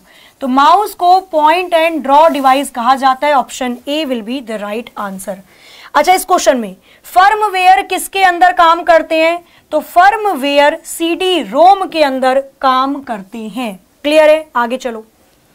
कंप्यूटर में इनपुट डिवाइस के रूप में सर्वाधिक प्रयोग होने वाला डिवाइस निम्नलिखित में से कौन सा है? मोस्ट कॉमनली इनपुट डिवाइस, सबसे ज़्यादा इस्तेमाल होने वाला इनपुट डिवाइस किसको कहेंगे? एक ही इनपुट डिवाइस है भैया। सबसे ज़्यादा माउस का इस्तेमाल किया जाता है as an input device modem की फुल फॉर्म होती है modulator and demodulator modem की फुल फॉर्म होती है मॉड्यूलेटर एंड डी मॉड्यूलेटर अब क्या होगा इसके अंदर? मॉडम कैसा डिवाइस है, इनपुट या आउटपुट? तो मॉडम दोनों भैया के अंदर आता है, इनपुट भी कहलाता है, आउटपुट भी। कहा ही कहलाता है भाई दोनों? क्योंकि मॉडम एनालॉग सिग्नल को डिजिटल में भी कन्वर्ट करता है और डिजिटल सिग्नल को एनालॉग में भी कन्वर्ट करता है। इसी वजह से इसको इनपुट, आउटपुट दोनों डिवाइस के अंदर कंसिडर किया जाता है। कितने बार पूछोगे भैया ईपी रोम के बारे में? अच्छा ईपी रोम की फुल फॉर्म क्या हो जाएगी? ये मान के नहीं दे रहे, इनको बहुत बार पूछना है। हालाँकि इनको पूछना चाहिए था डबल ईपी रोम। गलत पूछ लिया इसने उन्हें क्वेश्चन। कोई बात नहीं, हम इसको सही कर देते हैं। डबल ईपी रोम की फुल फॉर्म क्या होगी तो देख लेना। Electrical erasable. अच्छी बात है, कोई चीज़ सीख लोगी। Electrical erasable, programmable, read only memory double EP ROM की फुल फॉर्म होती है। डबल ईपी रोम का ही इस्तेमाल हम अपने रोम के अंदर आज की दुनिया में कर रहे हैं, क्योंकि इसके अंदर आप डेटा को बिजली से, इलेक्ट्रिक करंट से डिलीट कर सकते हो। जब तक मेरे मोबाइल फ़ोन में चार्जिंग है, तब तक मैं इसमें से कोई भी चीज़ डिलीट कर सकती हूँ और किसी भी चीज़ को स्टोर भी कर सकती हूँ। ये डबल ईपी रोम के अंतर्गत होता है। ठीक है? केवल सिस्टम एप्लीकेशन को छोड़कर, अगर मैं इसमें से ऑपरेटिंग सिस्टम ही उड़ा दूँ तो फिर डिब्बा है डिब्बा। ऐसा हो जाएगा। कंप्यूटर से कनेक्ट होने वाले डिवाइस जैसे मॉनिटर और प्रिंटर को क्या कहा जाता है? तो मॉनिटर और प्रिंटर को सिस्टम से कनेक्ट किया जाता है। मॉनिटर, प्रिंटर एक आउटपुट डिवाइस कहलाते हैं। Option B will be the right answer. अच्छा एक और चीज़ देखना। मॉनिटर और प्रिंटर की अगर मैं बात करती हूँ तो मॉनिटर आपको सॉफ्ट कॉपी देता है, जिसको आप एक सिस्टम, स्क्रीन के अंदर देखते हो, और प्रिंटर आपको एक हार्ड कॉपी देता है। पेज देता है ना प्रिंट होके, जिसको आप छू सकते हो। क्लियर है? मॉनिटर का दूसरा नाम होता है वीडीयू मॉनिटर को वीडियो नाम से भी जानते हैं। इसकी फुल फॉर्म होती है विजुअल डिस्प्ले यूनिट एक ऐसी यूनिट जिसमें आप चीज़ों को साफ़ साफ़ देख पाते हैं। आगे। कंप्यूटर के स्टैंडर्ड कीबोर्ड में कौन सी एक फ़ंक्शन की है? और उसका काम क्या है? जरा मुझे ये भी बता देना। इनमें से कौन सी फ़ंक्शन की है और उसका काम क्या है? तो फ़ंक्शन की तो आप लोग बता ही दोगे। कौन सी फ़ंक्शन की है जो एफ़ के साथ लिखी हुई है? F one F one function की का इस्तेमाल किसके लिए किया जाता है? हेल्प के लिए किया जाता है। और अगर आपसे पूछे कि ये हेल्प वाला कमांड कहाँ मिलती है तो हेल्प की कमांड आपको स्टार्ट मेन्यू में जाकर मिलती है। क्लियर है? आगे चलते हैं। फ्लैश ड्राइव का प्लग इनमें से किसमें लगता है? फ्लैश ड्राइव कौन से प्लग को सपोर्ट करती है और व्हाट इज़ फ्लैश ड्राइव करिए जरा बताइए इसका आंसर, क्या हो सकता है? हाँ जी एफ़ वन हेल्प के लिए इस्तेमाल किया जाता है। क्वेश्चन नंबर फोर्टी सेवन के लिए कौन सा ऑप्शन करेक्ट होगा? फ्लैश ड्राइव कौन से पोर्ट को सपोर्ट करती है? फ्लैश ड्राइव मानो पेन ड्राइव की तरह। पेन ड्राइव किसको सपोर्ट करती है यूएसबी पोर्ट को? भाई, पेन ड्राइव लगाई है कभी? आपने सिस्टम में लगाई है ना? तो वो यूएसबी पोर्ट को सपोर्ट करती है। यूएसबी की फुल फॉर्म यूनिवर्सल सीरियल बस। और क्या बताना था मुझे यहाँ पर? मुझे बताना था आपको फ्लैश ड्राइव के बारे में। पूछा जाता है वो कौन सी मेमोरी है जो रैम के भी अंदर आती है और रोम के भी अंदर आती है। तो फ्लैश, मेमोरी, रैम और रोम दोनों के अंदर आती है। कहा क्योंकि फ्लैश ड्राइव से आप इसमें अंदाज़ा लगा सकते हो पेन ड्राइव का। जब पेन ड्राइव के अंदर डेटा स्टोर कर देते हैं तो वो रोम के अंदर है। लेकिन जब आप इसको अपने सिस्टम में लगाकर स्क्रीन पर चीज़ें देख रहे हो तो वो रैम पर उठ के आ जाती है। तो फ्लैश को रोम और रैम दोनों कहा जाता है। ये यूएसबी पोर्ट को सपोर्ट करती है। जो माउस होते हैं आपके, लिख लो यहाँ पर। जो माउस होते हैं, वो सीरियल पोर्ट को सपोर्ट करते हैं। जो माउस कीबोर्ड होते हैं, वो सीरियल पोर्ट को सपोर्ट करते हैं। और जो प्रिंटर स्कैनर होते हैं जो प्रिंटर स्कैनर होते हैं, वो पैरेलल पोर्ट को सपोर्ट करते हैं। किसको? वो पैरेलल पोर्ट को सपोर्ट करते हैं। आगे चलते हैं। इनमें से किसमें परिवर्तन, परिवर्तित डॉक्यूमेंट को वेब पेज पर प्रकाशित किया जा सकता है? किससे बनाए गए डॉक्यूमेंट को वेब पेज पर दिखाया जा सकता है? क्वेश्चन नंबर 48 का आंसर क्या हो जाएगा? करिए जरा। करिए फटाफट से आंसर, क्या हो जाएगा? तो जो पेजेस एचटीएमएल की कोडिंग से बने हैं हाइपर टेक्स्ट मार्कअप लैंग्वेज की कोडिंग से बने हैं, वो आप वेब पेज पर दिखा सकते हो। डेटा डुप्लीकेशन स्पेस को नष्ट कर देता है, लेकिन एक गंभीर समस्या भी उत्पन्न कर देता है। इस समस्या को क्या कहते हैं? जब डेटा की डुप्लीकेसी होती है तो आपकी जो खाली जगह होती है, वो खत्म हो जाती है और एक नई प्रॉब्लम आ जाती है। उस प्रॉब्लम को क्या कहा जाता है? ये क्वेश्चन डेटाबेस से रिलेटेड है। उस नई मतलब परेशानी को क्या कहा जाता है? तो उसको डेटा उसको डेटा इनकंसिस्टेंसी कहा जाता है। अगर किसी भी व्यक्ति का डेटा एक से ज़्यादा बार स्टोर है तो वो डेटा इनकंसिस्टेंसी कहलाएगा। बैंक में आपका अकाउंट खुला और किसी व्यक्ति ने उसको दो जगह मेंशन कर दिया। भाई, अगर आपने अकाउंट बंद करवा दिया तो भाई, कोई नया बंदा आया होगा, उसको लगा होगा केवल एक ही जगह अकाउंट खुला हुआ है। तो उसने आपकी एक वाली एंट्री तो बंद कर दी, दूसरी वाली चली रही है। तो जब भी डेटा एक से ज़्यादा बार लिख लिया जाता है तो उसको डेटा इनकंसिस्टेंसी कहते हैं। इतने की ज़रूरत नहीं थी, फिर भी ज़बरदस्ती लिख लिया गया। रैम के संबंध में निम्नलिखित में से कौन सा कथन सच नहीं है?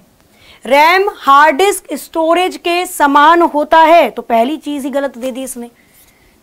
भाई, रैम हार्ड डिस्क स्टोरेज थोड़ी ना है।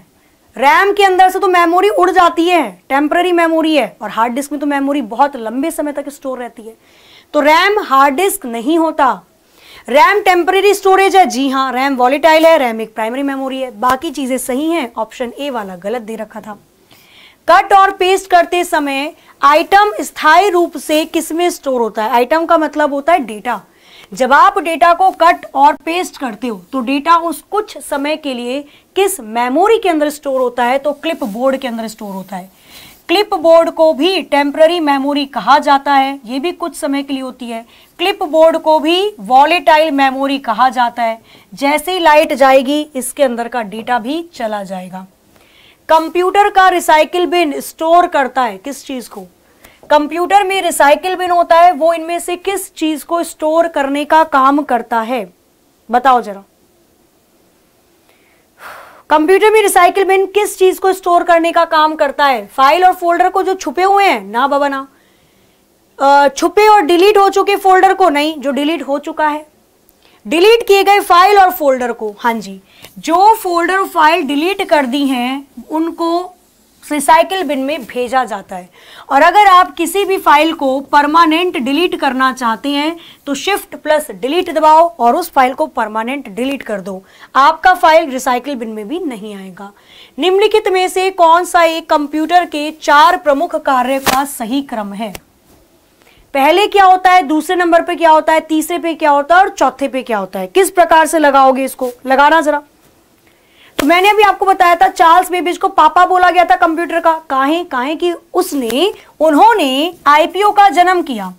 इनपुट प्रोसेसिंग आउटपुट और आउटपुट देने के बाद स्टोरेज को जोड़ा गया था बाद में, ठीक है? तो इनपुट प्रोसेस आउटपुट और storage, option D will be the right answer. Input process output storage सही आंसर हो जाएगा। इनमें से किसको और मॉनिटर? कंप्यूटर सिस्टम के दो मुख्य आउटपुट डिवाइस हैं। तो एक तो प्रिंटर होता है और एक मॉनिटर होता है। ये दोनों के दोनों कंप्यूटर के मुख्य आउटपुट डिवाइस कहलाते हैं। राजस्थान वाले बच्चे और हरियाणा वाले बच्चे प्लॉटर देखकर कुछ समझ में आता है आपको? पिछले पेपर में प्लॉटर ने बहुत अच्छे से मन खुश कर दिया था। नहीं हुआ था क्या? प्लॉटर क्या होता है? तो प्लॉटर भी एक आउटपुट डिवाइस होता है। प्लॉटर का इस्तेमाल किया जाता है स्केच को बनाने के लिए। स्केच को बनाने के लिए प्लॉटर का इस्तेमाल किया जाता है। ये लाइनों को प्रिंट करता है। इसके अंदर पेन होता है। लाइन को प्रिंट करने का इस्तेमाल मतलब लाइनों को प्रिंट करने के लिए प्लॉटर का इस्तेमाल किया जाता है। खाका तैयार करता है, मैप बनाता है। निम्नलिखित में से कौन सा एक प्रोग्रामिंग लैंग्वेज है? इनमें से कौन सी प्रोग्रामिंग लैंग्वेज होगी? एम एस आउटलुक, ये तो एप्लीकेशन सॉफ्टवेयर है। वर्ड, एप्लीकेशन सॉफ्टवेयर है। नेट स्केप नेविगेटर, ये एक वेब ब्राउज़र है। पास्कल एक प्रोग्रामिंग भाषा को कहा जाता है, option D will be the right answer computer के क्षेत्र में dot T X T dot DOC dot S M P का क्या तात्पर्य? है करिए जरा फटाफट से बताइए इसका आंसर क्या हो सकता है। इसका क्या तात्पर्य होगा? फटाफट से आंसर करके बताना है। करें इसे। चलो। तो ये सब फ़ाइल एक्सटेंशन होती हैं। इनको फ़ाइल एक्सटेंशन कहते हैं, जिससे इंसान पहचान ले ये फ़ाइल किससे रिलेटेड है। यदि टी लिखा है मतलब इस फ़ाइल को नोट पैड पे बनाया गया है। डॉक का मतलब इस फ़ाइल को एम एस वर्ड पे बनाया गया है। एस का मतलब ये फ़ाइल एक पिक्चर की है। ये फ़ाइल एक इमेज की है पिक्चर की है, जिसको फोटोशॉप से एडिट किया गया हो। क्लियर है? आगे चलते हैं। कंप्यूटर के संदर्भ में निम्नलिखित में से कौन सा एक पेरीफेरल डिवाइस नहीं है? इनमें से किसको पेरीफेरल डिवाइस नहीं कहा जाता? क्वेश्चन नंबर 57 का आंसर क्या हो जाएगा? पेरीफेरल डिवाइस किसको कहते हैं? हर वो डिवाइस जिसका इस्तेमाल करके कंप्यूटर अपने इनपुट और आउटपुट के काम को करता है। कीबोर्ड इनपुट डिवाइस है। माउस इनपुट है, मॉनिटर आउटपुट है। तो ये सारे पेरीफेरल डिवाइसेस हैं जिनको अलग से जोड़ा जाता है, लेकिन मदरबोर्ड ना तो इनपुट का काम करता है, ना आउटपुट का। इसका काम होता है सारे डिवाइस के तारों को अपने अंदर कनेक्ट करके रखना और उन तारों के बीच में डेटा को बस के द्वारा कन्वर्ट करना। तो यहाँ पर मदरबोर्ड इसके अंतर्गत नहीं आएगा। मदरबोर्ड का दूसरा भी नाम होता है, इसको पीसीबी कहते हैं। सॉरी मदरबोर्ड को पीसीबी के नाम से भी जाना जाता है। पीसीबी की फुल फॉर्म होती है प्रिंटेड सर्किट बोर्ड एक ऐसा बोर्ड जो कि प्रिंटेड है, जिसके अंदर कुछ ना कुछ प्रिंट हो रखा है। आगे चलो। ऑपरेटिंग सिस्टम का सबसे सामान्य प्रकार कौन सा है? ऑपरेटिंग सिस्टम का सबसे सामान्य प्रकार किसके अंतर्गत आएगा? The most common type of operating system is या ऑपरेटिंग सिस्टम किस प्रकार का सॉफ्टवेयर है? तो operating system is a type of system software इसके बिना सिस्टम काम नहीं कर सकता। ऑपरेटिंग सिस्टम दो प्रकार से कोडिंग का इस्तेमाल करते हैं। एक होता है G U I base graphical user interface एक ऐसे ऑपरेटिंग सिस्टम जिनमें चित्र होता है। चित्र को देखकर काम करते हैं। और एक होता है सी यू आई बेस इसको कहा जाता है कैरेक्टर यूज़र इंटरफेस जो कैरेक्टर जिसमें आपको कमांड देनी पड़ती है, लिखनी पड़ेगी। कंप्यूटर में चित्र नहीं होता। एक कंप्यूटर बूट नहीं कर सकता, अगर उसके पास इनमें से क्या चीज़ नहीं होगी। तो मैंने आपको भी थोड़ी देर पहले भी करवाया था, शायद तीसरा या चौथा क्वेश्चन था जो हमने पीछे किया। अगर कंप्यूटर के पास, अगर कंप्यूटर के पास ऑपरेटिंग सिस्टम ही नहीं है तो वो बूटिंग किस चीज़ की करेगा? तो कंप्यूटर में बूटिंग करने के लिए ऑपरेटिंग सिस्टम का होना अति आवश्यक है। What is the full form of UPS ये भी हमने करा है करना जरा। यूपीएस की फुल फॉर्म क्या होगी? क्वेश्चन नंबर 60 के लिए कौन सा ऑप्शन करेक्ट हो जाएगा? यूपीएस की फुल फॉर्म क्या होती है? ये होता है आपका कंप्यूटर का इन्वर्टर। जब लाइट चली जाती है तो थोड़ी देर के लिए कंप्यूटर को बिजली उपलब्ध करवाने का काम यूपीएस का होता है। फुल फॉर्म होती है interrupted power supply option B will be the right answer एक प्रिंटर इस प्रकार का डिवाइस होता है तो प्रिंटर एक आउटपुट डिवाइस होता है। प्रिंटर के बारे में मैंने आपको बता ही दिया नॉन इम्पैक्ट और इम्पैक्ट प्रिंटर होते हैं। किसी मौजूदा फ़ाइल को नए नाम के साथ किसी नए स्थान पर सेव करने के लिए कौन सी कमांड का इस्तेमाल किया जाता है? करो, ये अच्छा क्वेश्चन है। जैसे आप एमएस ऑफ़िस की बात करते हो ना मैम, कुछ नए क्वेश्चंस जो पूरी संभावनाएँ आने की, उनमें से ही एक क्वेश्चन है ये। पहले से एक फ़ाइल मौजूद है, उसको नए नाम से और जगह सेव करना है तो हम सेव एज का इस्तेमाल करते हैं। Option D will be the right answer और कौन सी फ़ंक्शन की होती है इसके लिए? एफ़ ट्वेल्व फ़ंक्शन की होती है। स्विचिंग डिवाइस के रूप में माइक्रो प्रोसेसर को कौन सी पीढ़ी के अंदर इस्तेमाल किया गया? माइक्रो प्रोसेसर कौन सी जनरेशन में आई थी? बताइए जरा फटाफट से। माइक्रो प्रोसेसर इनमें से कौन सी जनरेशन के अंदर आई? फटाफट से आंसर करके बताइए, क्या हो सकता है यहाँ पे? तो माइक्रो प्रोसेसर आई थी कंप्यूटर के फोर्थ जनरेशन के अंदर, चतुर्थ जनरेशन के अंदर। Option D will be right answer. पहली माइक्रो प्रोसेसर इंटेल कंपनी के द्वारा डिज़ाइन की गई थी, जिसका नाम था इंटेल 4004 आगे चलो। निम्नलिखित में से कौन सी सबसे बड़ी स्टोरेज यूनिट है? इनमें से कौन सी कंप्यूटर की सबसे बड़ी स्टोरेज यूनिट हो जाएगी? बड़ी का मतलब होता है लार्जेस्ट स्टोरेज यूनिट इनमें से तो हमें याद है ट्रिक बन के बी के माँगता है पीजी। बन के बी के माँगता है पीजी। बिट, बाइट, आगे kilobyte, bit, nibble byte. Kilobyte, megabyte, gigabyte, terabyte, petabyte, exabyte, zettabyte, yottabyte. इनमें से कौन सी बड़ी हो जाएगी? तो बाइट से बड़ी किलोबाइट किलोबाइट से बड़ी गीगाबाइट गीगाबाइट से बड़ी टेराबाइट। इनमें से सबसे बड़ी बाइट, टेराबाइट होगी option C will be the right answer. ऐसा सॉफ्टवेयर है जिसका प्रयोग विशिष्ट कार्य को निष्पादित करने के लिए किया जाता है। करिए जरा बताइए इसका आंसर क्या हो सकता है? तो एक विशिष्ट काम को करने के लिए जो प्रोग्राम्स बनाए जाते हैं, देखो, एक ऐसा सॉफ्टवेयर जो स्पेसिफिक टास्क को करता है, वो प्रोग्राम से बना होता है। किसी भी काम को करने के लिए स्पेशल प्रोग्राम बनाए जाते हैं। हर काम का प्रोग्राम अलग होता है। आपके फ़ोन में कैलकुलेटर है, उसके लिए अलग प्रोग्राम डिज़ाइन किया गया था, जो केवल कैलकुलेटर का काम कर सकता है। हम लोग अलार्म घड़ी का इस्तेमाल करते हैं मोबाइल फ़ोन के अंदर, उसके लिए अलग प्रोग्राम का इस्तेमाल किया गया है। स्पेसिफिक टास्क को प्रोग्राम के द्वारा ही बनाया जाता है। इनमें से किस डिस्क को टास्क और सेक्टर में ट्रैक और सेक्टर में, कहा टास्क लिख रहे हो भैया? ट्रैक ट्रैक और सेक्टर में विभाजित करने की प्रक्रिया कहलाते हैं। तो डिस्क फॉर्मेटिंग को, डिस्क फॉर्मेटिंग क्या कहलाती है? जब आप किसी सीडी को ट्रैक और सेक्टर में बांटते हो तो उस प्रक्रिया को डिस्क फॉर्मेटिंग कहते हैं। डिस्क फॉर्मेटिंग ये यूटिलिटी सॉफ्टवेयर के अंतर्गत आती है। हर वो काम जो कंप्यूटर के मेंटेनेंस, देख रखाव के लिए किया जाता है, वो यूटिलिटी सॉफ्टवेयर के अंतर्गत आता है। सीडी के अंदर डेटा को लेजर लाइट के द्वारा भरा जाता है और हमेशा डेटा बाहर से अंदर की तरफ़ ही भरता है। ठीक है, चलो आगे। सीडी कैसे काम करती है या किस पर काम करती है? तो ये आरपीएम पर काम करती है। इसकी स्पीड को आरपीएम में मेजर किया जाता है। आरपीएम का मतलब होता है रोटेशन पर मिनट। एक मिनट में सीडी कितने बार रोटेट हो रही है? और अगर स्टैंडर्ड रोटेशन पर मिनट बताऊँ तो 3600 बार होती है। जब आप सीडी को लगाते हो, आवाज़ आती है खच खच खच खच की तो वही रोटेशन पर मिनट इसके यूनिट को कहा जाता है। आगे चलो। इनमें से कौन सा एक डेटा है जिसे अर्थपूर्ण नीति या रीति में संगठित और मीनिंगफुल मैनर से प्रेजेंट किया जाता है? अगर आप किसी डेटा को अगर आप किसी डेटा को मीनिंगफुल बना देते हो तो उसको इंफॉर्मेशन कहा जाता है। Option D will be the right answer D इसका आंसर करेक्ट हो जाएगा आगे।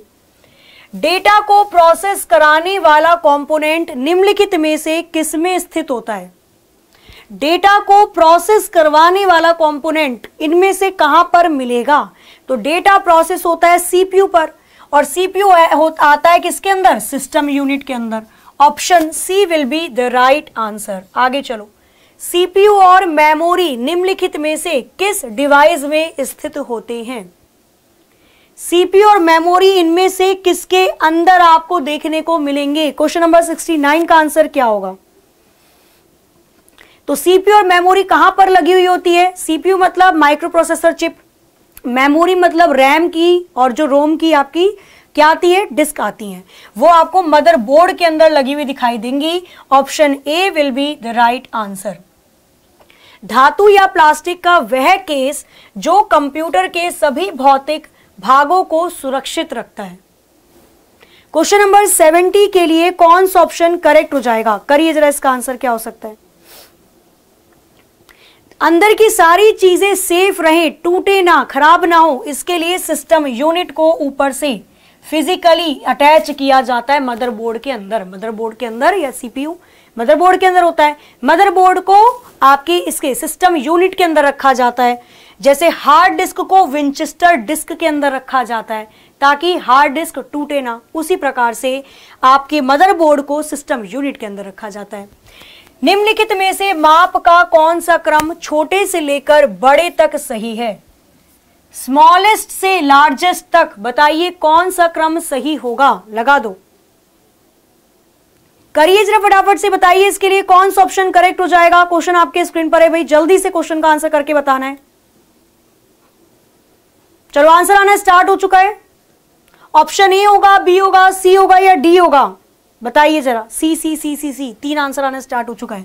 हमें पता है क्या बन के, बी के, माँगता है पीजी बस, इसी में सारे काम हो जाते हैं, जब भी नंबर सिस्टम से क्वेश्चन पूछा जाता है। तो यहाँ पर बाइट मेगाबाइट किलोबाइट गड़बड़ कर दी। किलोबाइट पहले आएगा मेगाबाइट बाद में। मेगाबाइट बाइट यहीं पर गड़बड़ कर दी।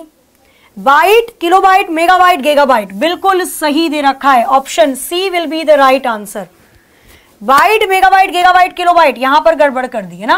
तो यहाँ पर केवल ऑप्शन सी के अंदर क्रम सही बनाया हुआ था, बाकी में कुछ ना कुछ गड़बड़ थी। क्वेश्चन नंबर सेवेंटी टू निम्नलिखित युग्म में दिए गए हैं। इनमें से कौन सा भिन्न है? डिफरेंट फ्रॉम देखो रीजनिंग प्लस कंप्यूटर कहते हैं इसे। इसमें चार आपको दे दिए ऑप्शन बताना है कौन सा अलग दिखाई दे रहा है चारों में से। क्लासिफिकेशन का क्वेश्चन आता है ना ऑड वन आउट वही क्वेश्चन है। करो इसे। रीजनिंग मान के कर लो या कंप्यूटर मान के कर लो। करिए जरा बताइए इसका आंसर क्या हो जाएगा। कौन सा अलग है?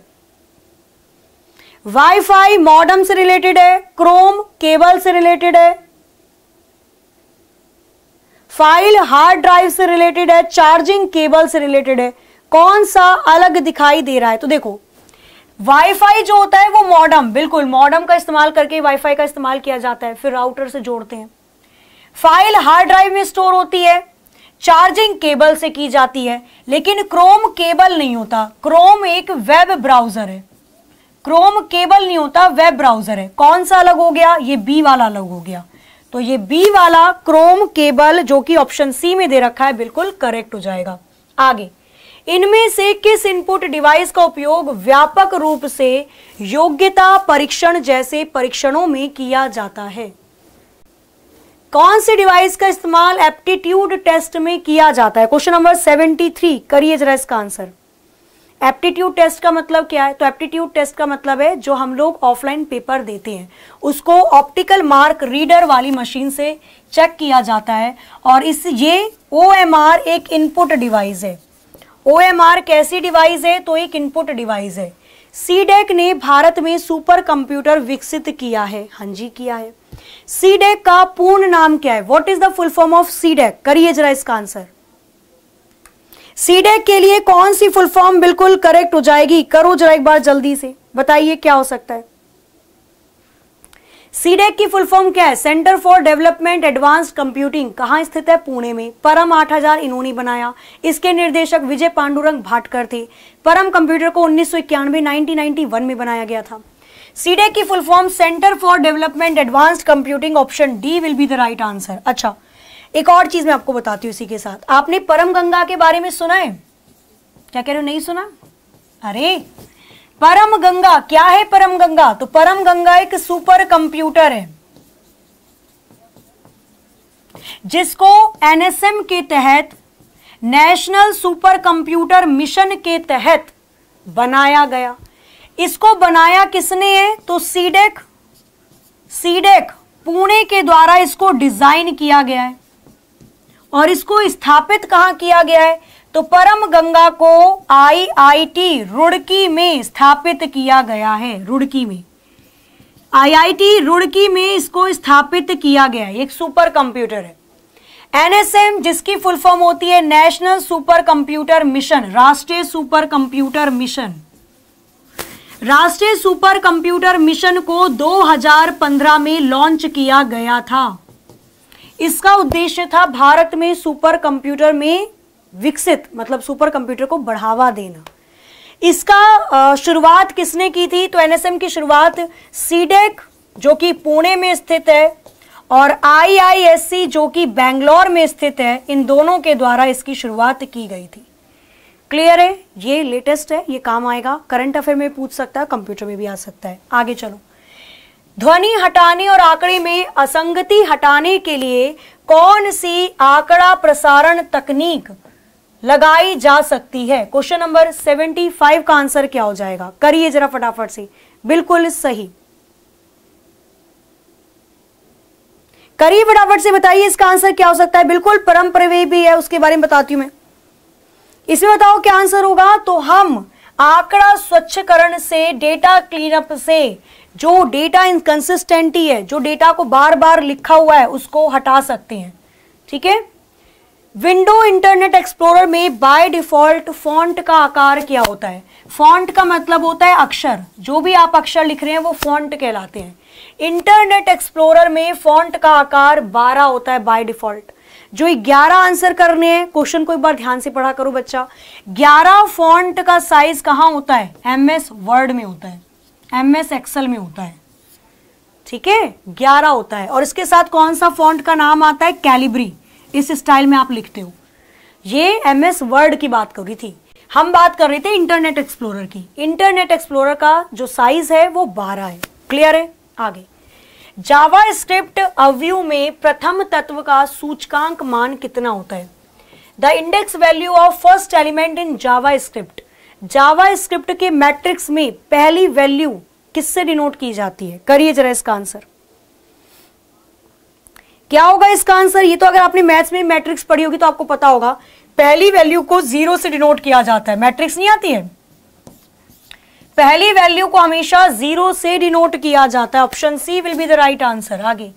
सबसे बड़ी बड़ी संख्या में निर्देश वाले computer. Large number of instructions. इनमें से किस कंप्यूटर के अंदर लार्ज नंबर ऑफ़ इंस्ट्रक्शन का इस्तेमाल किया जाता है?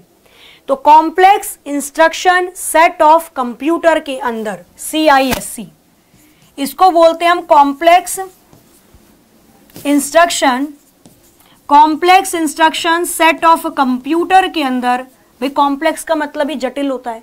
तो कंप्यूटर के अंदर हम लोग इस्तेमाल करते हैं लार्ज डेटा ठीक है? तो लार्ज के लिए हो जाएगा।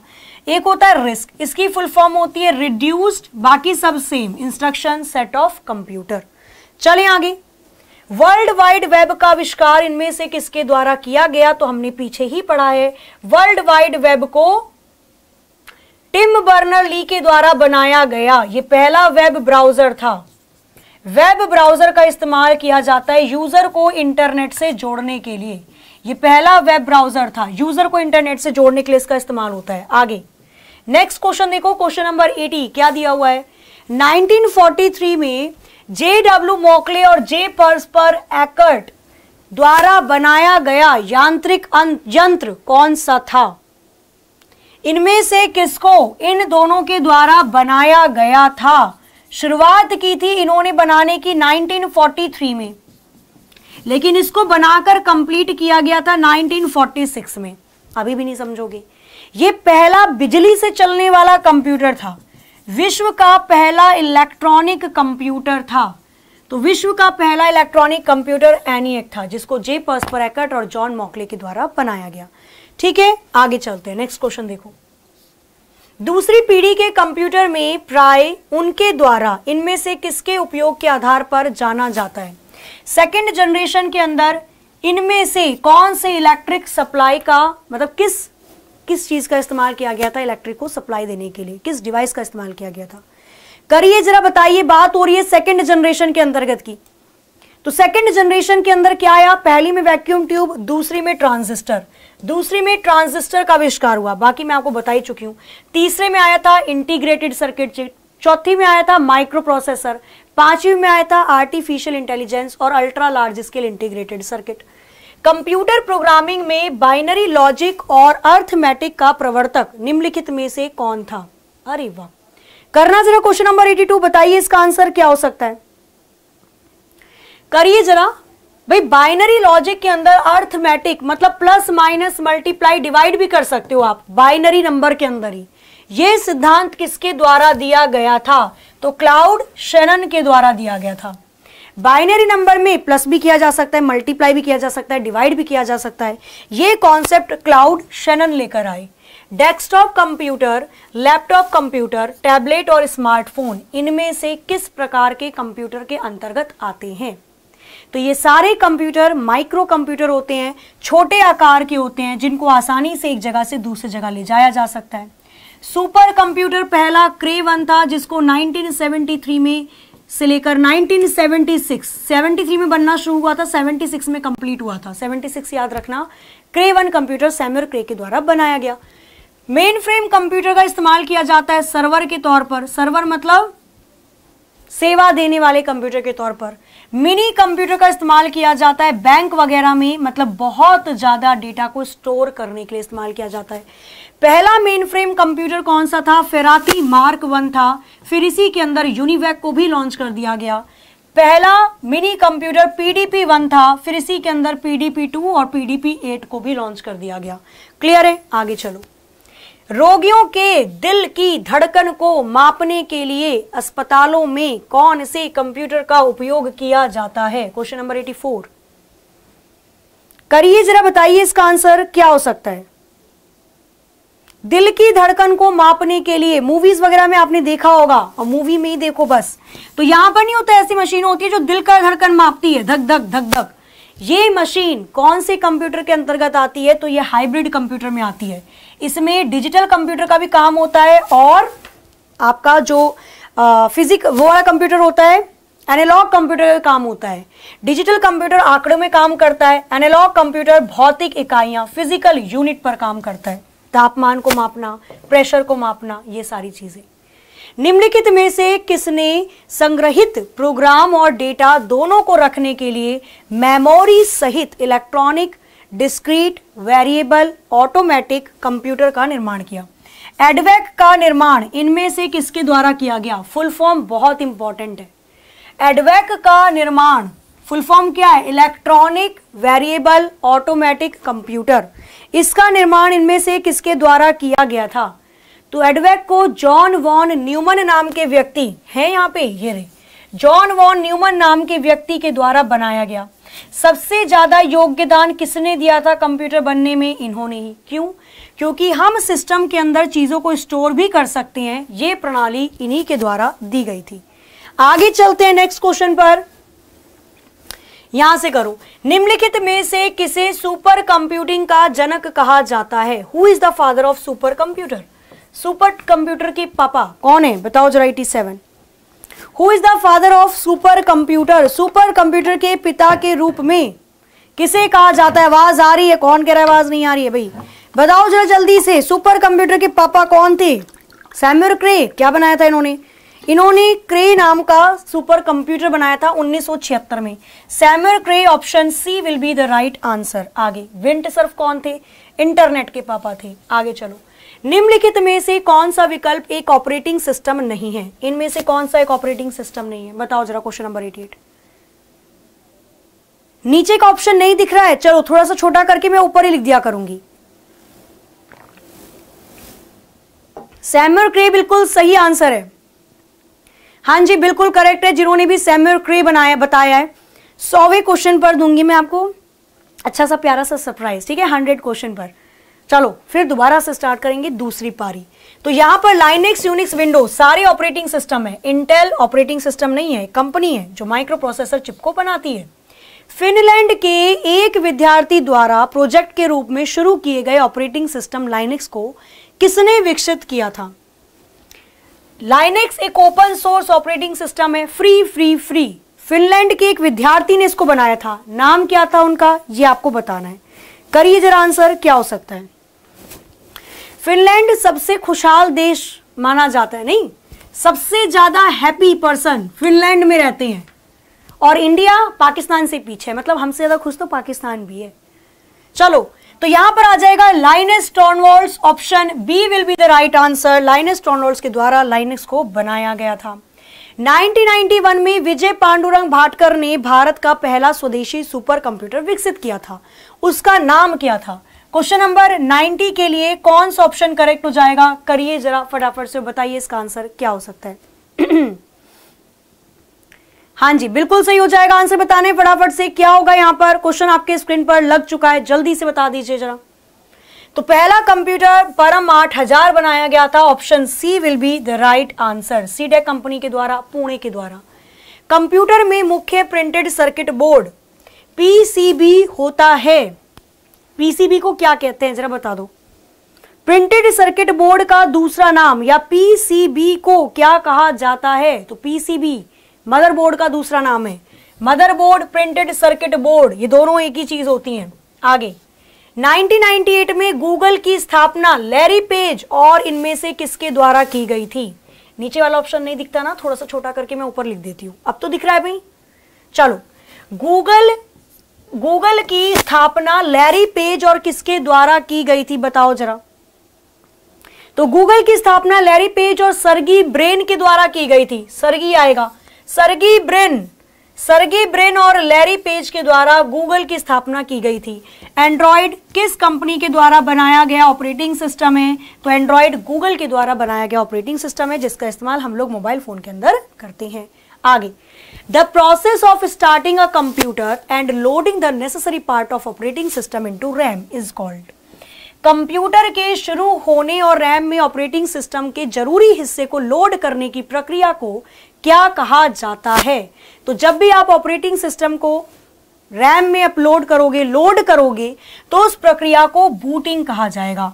बूटिंग बायोस चिप करती है बेसिक इनपुट आउटपुट सिस्टम की मतलब कर, इसके द्वारा की जाती है। और बूटिंग के लिए रोम चिप जिम्मेदार है, बायोस रोम का ही प्रकार है। बूटिंग दो प्रकार की होती है, एक होती है कोल्ड बूटिंग, जब आपका माइक्रो प्रोसेसर ठंडा ठंडा कूल कूल रहता है। जैसे हम सिस्टम को या तो स्टार्ट कर रहे होते हैं, या हम सिस्टम को शट डाउन कर रहे होते हैं। एक होती है वॉर्म बूटिंग जब हमारा सिस्टम या माइक्रो प्रोसेसर गर्म गर्म हो जाता है गर्मा गर्म हो जाता है। जिसको हम बोलते हैं, या तो हम सिस्टम को रिबूट करते हैं, या तो हम इस सिस्टम को रीस्टार्ट करते हैं। पूछ लेता है रीस्टार्ट कौन सी बूटिंग है? कोल्ड हॉट मतलब कोल्ड बूटिंग है वार्म बूटिंग है, दोनों बूटिंग है, या दोनों में से कोई भी नहीं है। निम्नलिखित में से क्या एक आउटपुट डिवाइस नहीं है? इनमें से कौन सा डिवाइस आउटपुट डिवाइस के अंतर्गत नहीं आता? करिए जरा फटाफट से बताइए इसका आंसर क्या हो सकता है। करिए जरा जल्दी से आंसर क्या हो जाएगा? इनमें से कौन सा? आपका कौन सा डिवाइस नहीं है? आउटपुट डिवाइस नहीं है। प्रोजेक्टर आउटपुट है हेडफोन आउटपुट है प्लॉटर जॉयस्टिक एक इनपुट डिवाइस होता है। जॉयस्टिक का काम गेम खेलने के लिए किया जाता है मोस्ट प्रोबेबली ज़्यादातर। आगे। 95 इनमें से कौन से कंप्यूटर में डेटा की सबसे छोटी इकाई होती है? डेटा की सबसे छोटी इकाई किसको कहा जाता है? The smallest unit of data data की स्मॉलेस्ट यूनिट किसको कहा जाता है? तो डेटा की स्मॉलेस्ट यूनिट बिट को कहा जाता है बाइनरी डिजिट को कहा जाता है। Option C will be the right answer जिसको किसके द्वारा बनाया गया था? तो भाई बिट को किसने बनाया था? तो बिट को गॉटराइड लेबनीज नाम की व्यक्ति के द्वारा विकसित किया गया था। निम्नलिखित में से कौन सा भारत द्वारा विकसित सुपर कंप्यूटर है? इनमें से कौन सा सुपर कंप्यूटर भारत के द्वारा बनाया गया है? करिए जरा आंसर बिट बिल्कुल करेक्ट आंसर हो जाएगा। भारत के द्वारा परम परम की पूरी सीरीज़ भारत ने बनाई है। परम युवा दो will be the right answer हम सुपर कंप्यूटर बना नहीं रहे थे, खरीद रहे थे।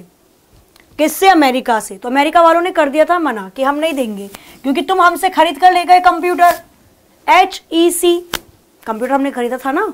एच e हम खरीद के लाए थे किससे? अमेरिका से। फिर उसके बाद हमने उसको देखकर सिद्धार्थ सुपर कंप्यूटर बना लिया। तो वो डर गए। उन्होंने कहा कि भाई, तुम बना ले तो नकलची बंदर हो। हम नहीं देंगे तुमको सुपर कंप्यूटर तो भाई, हमको लग गई बात दिल पर। हम यहाँ पर आकर सुपर कंप्यूटर हमने खुद ही बना दिया था। फिर उसको चेक किया गया था। लोगों ने माना नहीं। दुनिया ने नहीं माना। जब देखा गया तो उस टाइम पर तीसरे नंबर का सबसे तेज चलने वाला सुपर कंप्यूटर था। डिजिटल कंप्यूटर के संदर्भ में कौन से अंकों का युग्म बाइनरी कोड कहलाता है? तो ज़ीरो और वन बाइनरी कोड कहलाते हैं। ऑप्शन बी करेक्ट हो जाएगा। आस्काई की full form what is the full form of ASCII? ASCII की फुल फॉर्म क्या है? तो आज का ये कोड है जो कीबोर्ड पे बने हुए हर एक की के लिए इस्तेमाल किए जाने वाले बाइनरी नंबर में चेंज करने का काम करता है। फुल फॉर्म होती है इसकी American Standard Code for Information Interchange. ये सात बिट के अंदर भी अवेलेबल होता है और आठ बिट के अंदर भी अवेलेबल होता है। तो American Standard Code for Information Interchange, option B will be the right answer clear है? बीस का आंसर करेक्ट हो जाएगा। आज का ही सात बिट का भी कोड होता है और आठ बिट का भी कोड होता है। इनपुट डिवाइस का एक उदाहरण। इनमें से कौन सा एक इनपुट डिवाइस है? करिए जरा आंसर। क्या आएगा? इनमें से किसको आप एक इनपुट डिवाइस कह सकती हैं? इनपुट डिवाइस, इनमें से किसको कहा जाता है? करिए जरा फटाफट से। अभी तो आपका एमएस ऑफ़िस नहीं आया, अभी तो बहुत पॉइंट रह रहे हैं। इसमें एमएस ऑफ़िस रह रहा है, अभी इंटरनेट रह रहा है, अभी नेटवर्किंग रह रही है, अभी टॉपोलॉजी वगैरह रह रही है साइबर सिक्योरिटी रह रही है तो अभी तो बहुत पॉइंट रह रहे हैं। ये मानो अभी एक अध्याय खत्म होने वाला है आपका सेंचुरी में। एक अध्याय भी स्टार्ट होगा। ज़्यादा टाइम नहीं लगेगा, मुश्किल से एक डेढ़ घंटे में मैं उसको भी बहुत अच्छे से कंप्लीट करवा दूँगी। क्या हो जाएगा answer webcam webcam एक इनपुट डिवाइस होता है। कैमरा इनपुट डिवाइस है। फ़ोटो क्लिक करके अंदर लेगा और जो चीज़ बाहर से अंदर आती है, वो इनपुट डिवाइस कहलाती है। आगे। सौवा क्वेश्चन है माइक्रोसॉफ्ट वर्ड में इनमें से किस फॉर्मेटिंग के लिए टूल उपलब्ध कराया जाता है? या बोल्ड इटैलिक अंडरलाइन आदि। किस बार के अंदर, कौन से बार के अंदर आपको बोल्ड इटैलिक अंडरलाइन ये सारी चीज़ें देखने को मिलती हैं? तो बोल्ड इटैलिक अंडरलाइन इनमें से कौन से बार के अंदर आपको देखने को मिलती हैं? ये आपको बताना है फटाफट से, क्या होगा आंसर फॉर्मेटिंग टूल बार के अंदर फॉर्मेटिंग टूल बार के अंदर हमको ये सारी चीज़ें देखने को मिलती हैं। एक मिनट। फॉर्मेटिंग टूल बार के अंदर हमको ये सारी चीज़ें देखने को मिलती हैं। Option C will be the right answer Microsoft Word में normal web layout print layout outline reading view के बीच स्विच करने के लिए इनमें से किसका इस्तेमाल किया जाता है? क्वेश्चन नंबर 101 के लिए कौन सा ऑप्शन करेक्ट हो जाएगा? करिए जरा। तो इनके बीच में अगर आप स्विच करना चाहते हैं तो किसका इस्तेमाल करते हैं? तो हम इस्तेमाल करते हैं व्यू बटन का option B will be the right answer आगे चलिए। एमएस वर्ड में थियोसॉर्स टूल का उपयोग इनमें से किसके लिए किया जाता है? एक तो होता है स्पेलिंग चेक करना, एक होता है थियोसॉर्स थियोसॉर्स का इस्तेमाल इनमें से किसके लिए किया जाता है? बताओ आप, इतना मैं आपको थोड़ा सा सरप्राइज़ दे दूँ हाँ? चलिए बताइए जरा फटाफट से आंसर क्या होगा। ठीक है, जल्दी से करके बताओ भाई।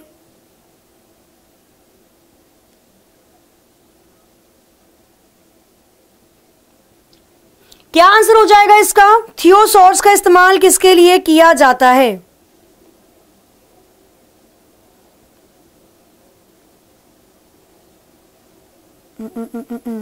चलो। आप में से कितने बच्चे हरियाणा से हैं? जरा आप मुझे बताओगे?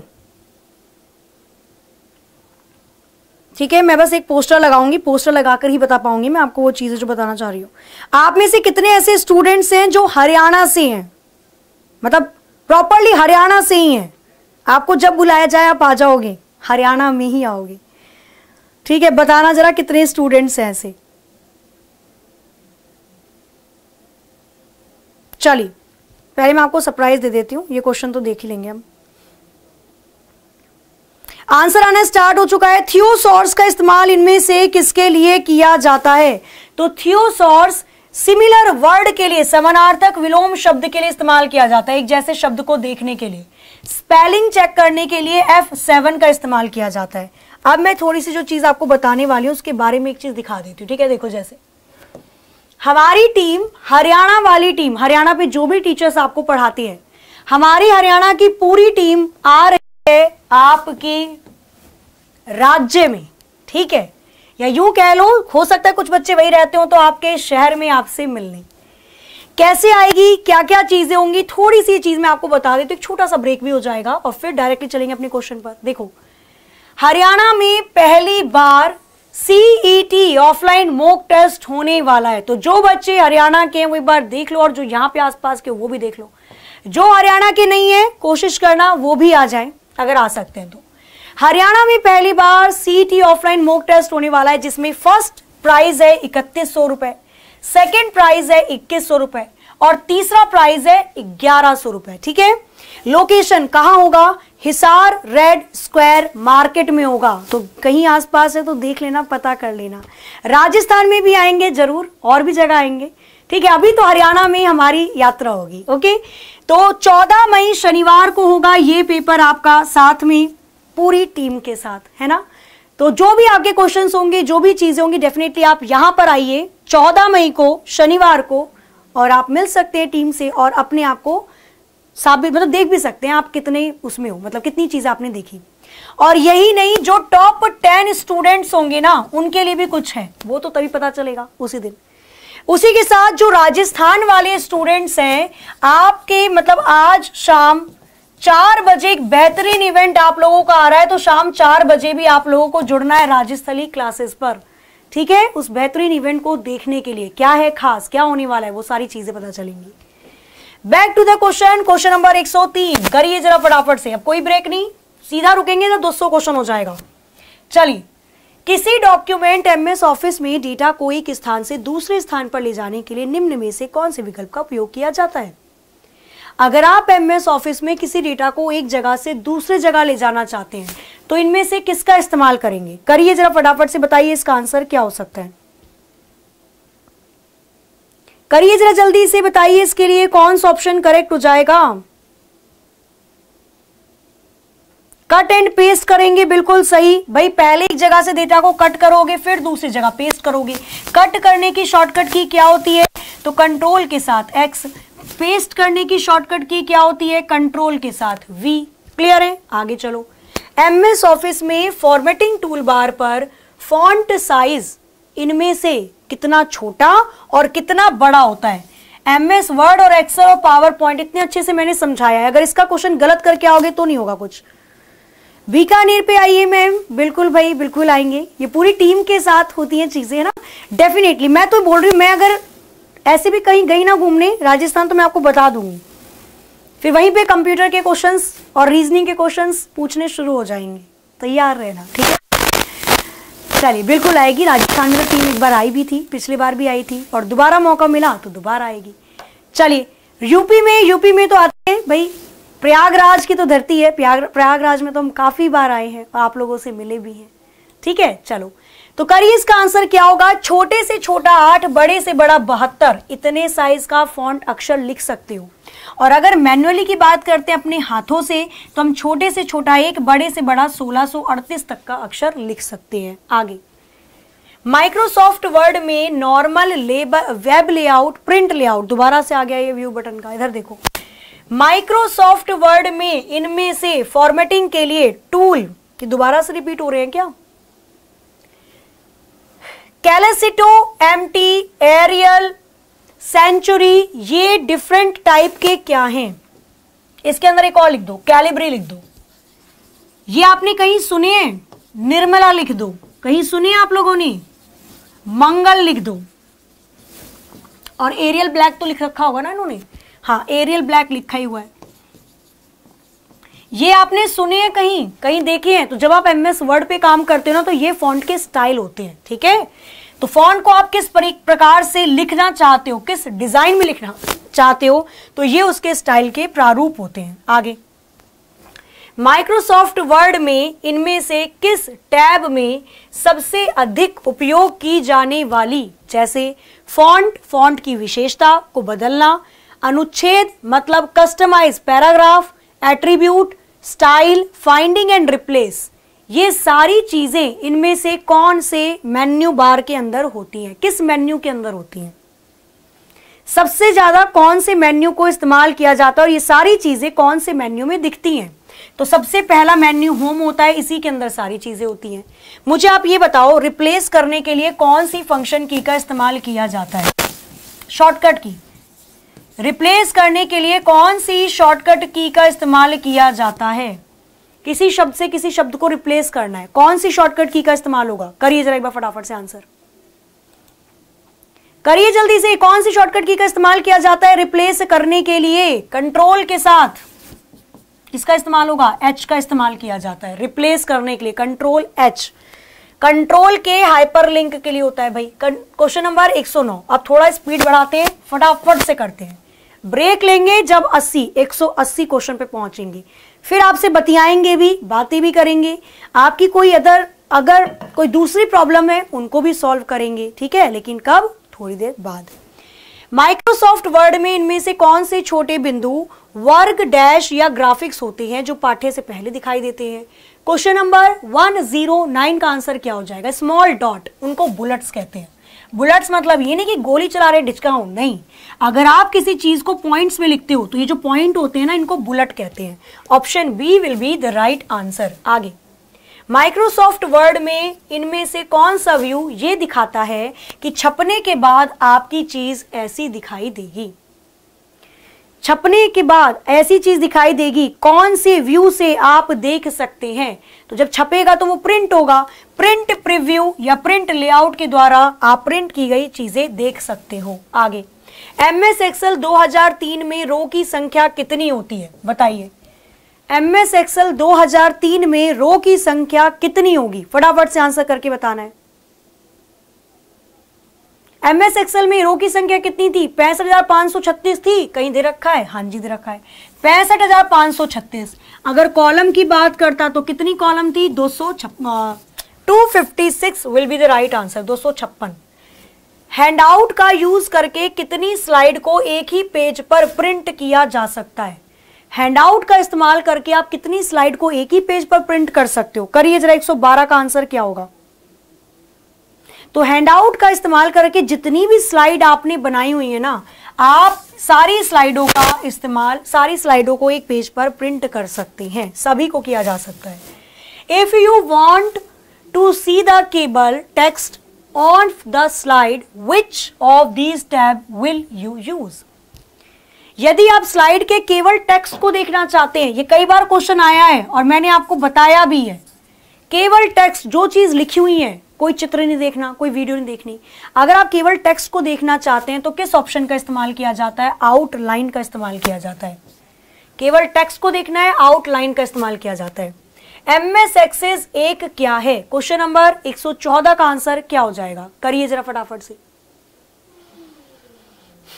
करिए जरा जल्दी से क्वेश्चन नंबर 114 के लिए कौन सा ऑप्शन करेक्ट होगा यहाँ पे? तो M S Access R D B M S होता है। फुल फॉर्म होती है इसकी रिलेशनल डेटाबेस इसकी फुल फॉर्म होती है रिलेशनल डेटाबेस मैनेजमेंट सिस्टम क्या होती है full form relational database management system होती है इसकी फुल फॉर्म ठीक है? एक और चीज़. ओओडीबीएमएस की फुल फॉर्म क्या होती है? तो ओओ का होता है ऑब्जेक्ट ओरिएंटेड बाकी सेम है. Object oriented database management system ORDS की फुल फॉर्म होती है object relational object relational database management system. DBMS के लिए कौन सी भाषा का इस्तेमाल किया जाता है? तो एसक्यूएल का इस्तेमाल किया जाता है। एसक्यूएल की फुल फॉर्म होती है structured structured query language SQL की फुल फॉर्म होती है स्ट्रक्चर्ड क्वेरी लैंग्वेज आगे चलो। बताओ जरा क्वेश्चन नंबर पंद्रह, एक सौ पंद्रह, क्या दिया हुआ है यहाँ पर? फ़ील्ड को यूनिक बनाने के लिए किस क्यू का उपयोग किया जाता है? Which key is use to field unique field को यूनिक बनाना है, किसी का मतलब कोई ऐसा डेटा जो किसी का भी मैच ना हो, सबका डेटा यूनिक हो, जैसे आधार कार्ड क्या दो व्यक्तियों के सेम आधार कार्ड हो सकते हैं? ना अरे बाबा, ना। मतलब हर व्यक्ति का आधार कार्ड का नंबर अलग है ना भाई? सेम कैसे हो जाएगा? नहीं हो सकता है तो डेफिनेटली तो वो चीज़ जो यूनिक है, उसको दिखाने का काम प्राइमरी की करती है। फॉरन की का काम क्या होता है? जरा बताओ मुझे। पूछा जाएगा। फॉरन की का काम होता है। दो टेबल को आपस में जोड़ के रखने का काम फॉरन की का होता है, ठीक है? फॉरन ले जाएगी मतलब एक टेबल से दूसरे टेबल में ले जाएगी। ऐसे याद रख सकते हो। क्वेश्चन नंबर 116 के बारे में बताइए, क्या होगा आंसर? टेबल में, इनमें से, निम्न में से किस प्रकार से बनाया जा सकता है? टेबल को किस प्रकार से बनाया जा सकता है? डिज़ाइन व्यू से, डेटा शीट से, विजार्ड से, भैया सबसे बना सकते हैं। आप डेटा को इन तीनों चीज़ों से ड्रॉ कर सकते हैं। Question number one one seven. एक डेटाबेस टेबल में जानकारी की श्रेणी को क्या कहा जाता है? The range of information database के अंदर द रेंज ऑफ़ इंफॉर्मेशन किसको कहा जाता है? बताओ जरा option A B C D तो जो जानकारी होती है या बोल सकते हैं रेंज ऑफ़ इंफॉर्मेशन होती है, जानकारी की श्रेणी को फ़ील्ड कहा जाता है option C will be the right answer और जो डेटा लिखा होता है, उसको रिकॉर्ड कहते हैं। एमएस एक्सेस में कितने प्रकार के फॉर्म होते हैं? क्या होगा इसका आंसर क्या कह रहे मैम हमें आंसर दिख गया। शतानो।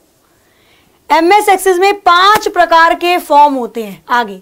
कॉम्बो बॉक्स का यूज़ किसके लिए किया जाता है? क्या कह रहे जोमेटो पे हम देखते हैं कॉम्बो बॉक्स किसी का बर्थडे तो कॉम्बो बॉक्स मंगवा लेते हैं मैं नहीं, उसमें लस्सी मिल जाती है, बेड़वी पूरी और आलू की सब्ज़ी।